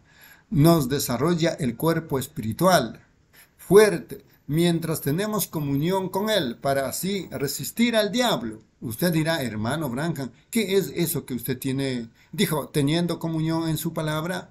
Sí, Él es la palabra. En el principio fue el verbo y el verbo era con Dios y el verbo era Dios. Y el verbo fue hecho carne y habitó entre nosotros y nosotros debemos comer su cuerpo. Y su cuerpo es su palabra por cuanto Él es la palabra. Y Él dijo en San Juan capítulo 15, si permanecéis en mí y mi comunión, mi palabra permaneciere en vosotros, entonces podéis pedir lo que queréis y os será hecho. Ahí lo tienen, esa es la verdad. Ven, piden lo que quieran. Párrafo 66. ¿Qué hace uno? Está fortaleciendo su cuerpo para la vacuna de la... Alguien viene y dice, oh, nuestra iglesia no cree en la gritería. Ven, no está fortalecido. ¿Qué? Usted tiene la comunión por dentro, la palabra, y está vacunado contra tal cosa. Si entra un montón de tonterías, ¿qué es? No tiene nada de palabra, entonces usted está seguro que está errado. No me importa cuán verdadero aparezca, si no es la palabra, déjenlo quieto. Correcto, déjenlo quieto. No me importa qué cosa hace. Tiene que cuadrar con la palabra. 67. En oración, cuando yo estaba citando a Micaías para allá, vean, parecía muy correcto, pues allí estaba Israel y ese terreno les pertenecía. Aquellos extranjeros entraron y se los robaron y habían construido sus propias casas y estaban ocupando una parte del terreno que Dios les había dado a estos. Así que parecía que aquellos 400 profetas hebreos tenían razón pero ustedes saben, había algo con respecto a Josafat que era espiritual. Él dijo, ¿no tienes a otro? Dijo, tengo otro, pero dijo, yo le odio, solo profetiza mal. Dijo, manda a traerlo y, y escuchémoslo. Y este vino y dijo, vayan, suban allá, pero yo he visto a Israel derramado como ovejas sin pastor. Entonces él relató su visión párrafo 68 por último. Ahora, ¿quién estaba correcto? Parecía que los 400 estaban correctos, 400 hombres bien entrenados diciendo, sube a Jehová hasta está contigo, sube, Jehová está contigo. Y aún Sedequías tenía un, un, tenía un, Sedequías mandó construir unos grandes cuernos de hierro. Él dijo, con esto correrán a los extranjeros del terreno. Él estaba seguro de que estaba correcto. Él sabía que tenía razón, pero ven ustedes, él estaba errado. Y aquí estaba Micaías, uno contra cuatrocientos, y él dijo, si ustedes suben allá, Israel quedará desparramada como oveja sin pastor. Los demás dijeron, suban, Jehová está con ustedes. Ahora, materialmente tenían razón.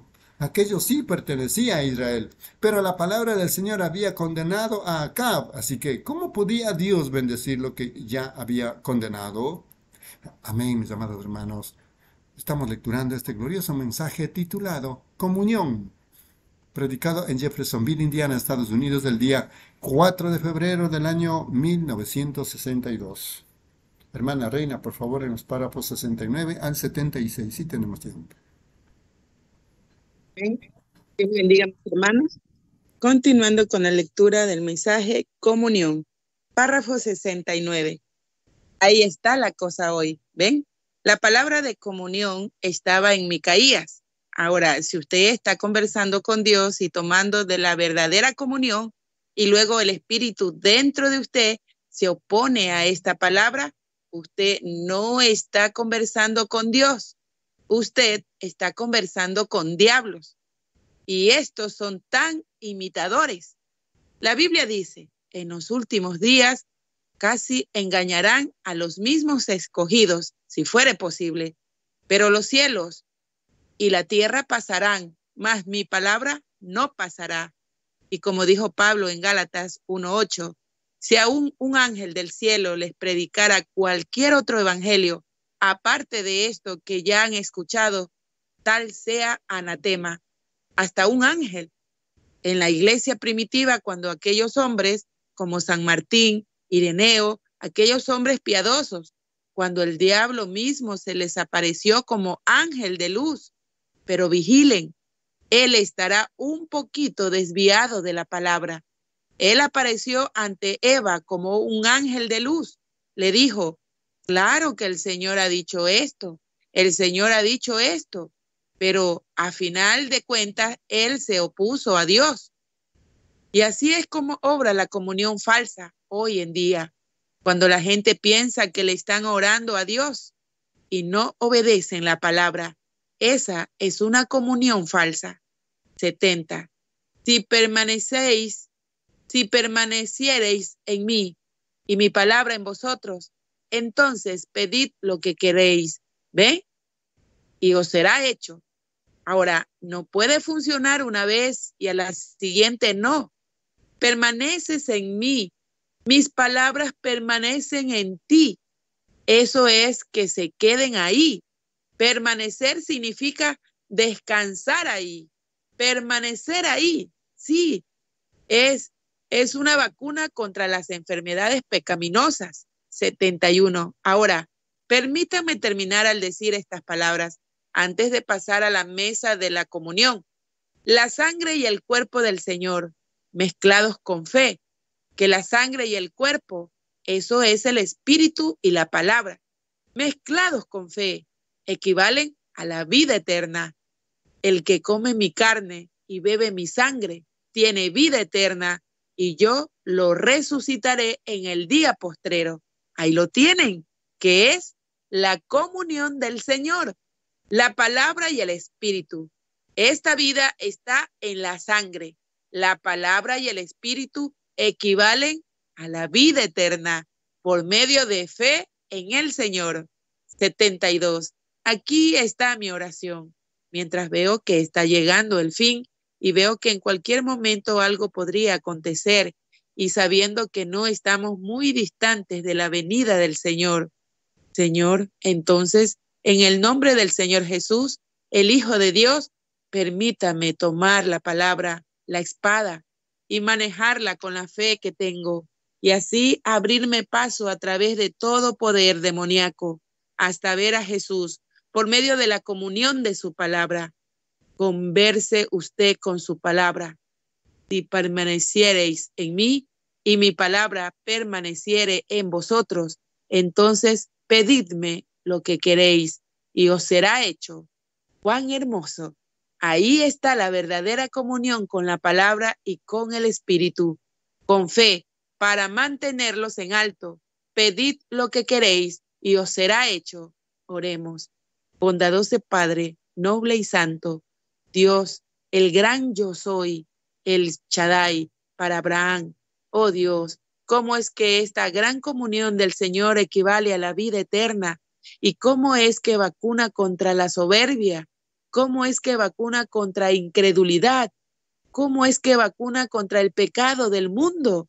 Es la comunión con el amor divino para con nuestro Padre Celestial y por medio de la justicia de Jesucristo, nosotros tenemos acceso a esta mesa y rogamos, Señor, que tú nos concedas a cada uno de nosotros ese acceso en esta noche, en el Espíritu. Espíritu, perdónanos y deseamos que nuestros cuerpos espirituales crezcan. No nos interesa unirnos a alguna iglesia o denominación. Deseamos desarrollar el cuerpo espiritual para que, este, para que esté vacunado contra el pecado, a tal grado que ya no exista el deseo de hacer el mal. y a donde el Espíritu Santo pueda tomar su propia palabra entre nosotros y hablarla tan fresquecita como fue hablada en aquel día, porque es el mismo Espíritu que estaba en el Señor Jesús. Yo ruego, Padre, que nos concedas eso. Párrafo 74. Las horas se están terminando.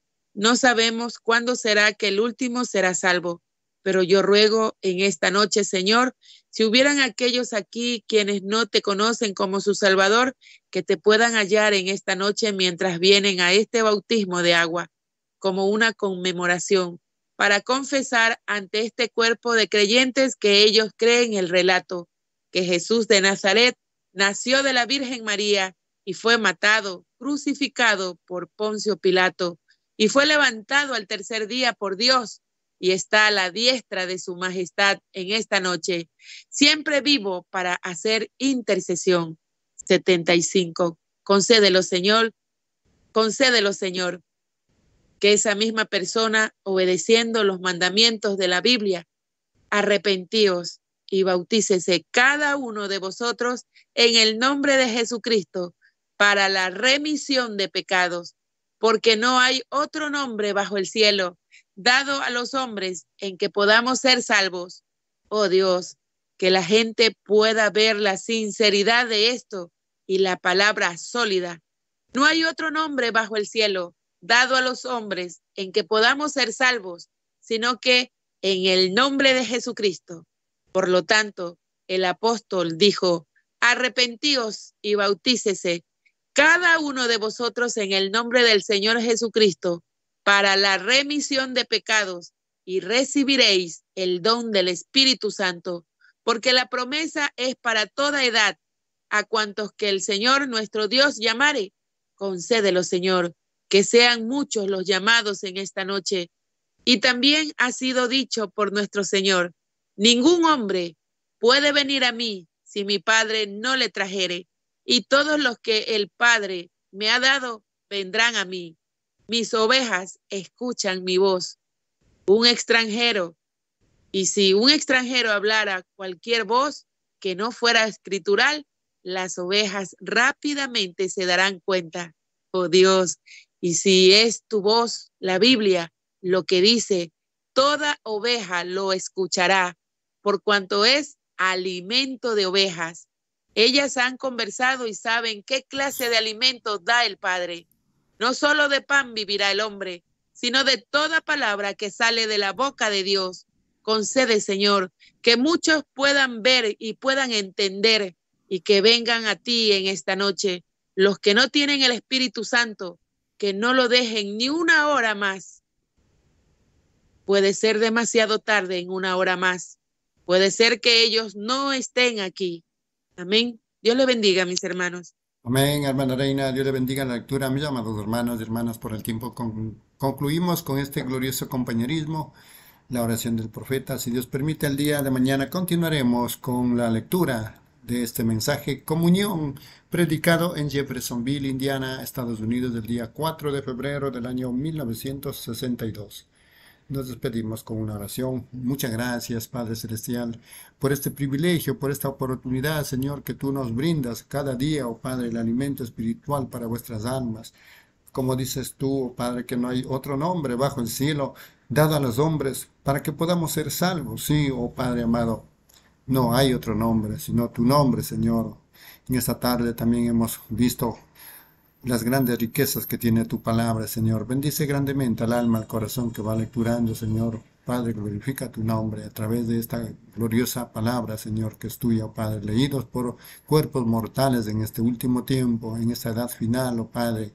Si hay un día más, Padre Celestial, continuaremos con este glorioso compañerismo en el nombre del Señor Jesucristo. Amén, mis amados hermanos y hermanas, que el Señor Jesucristo los siga bendiciendo.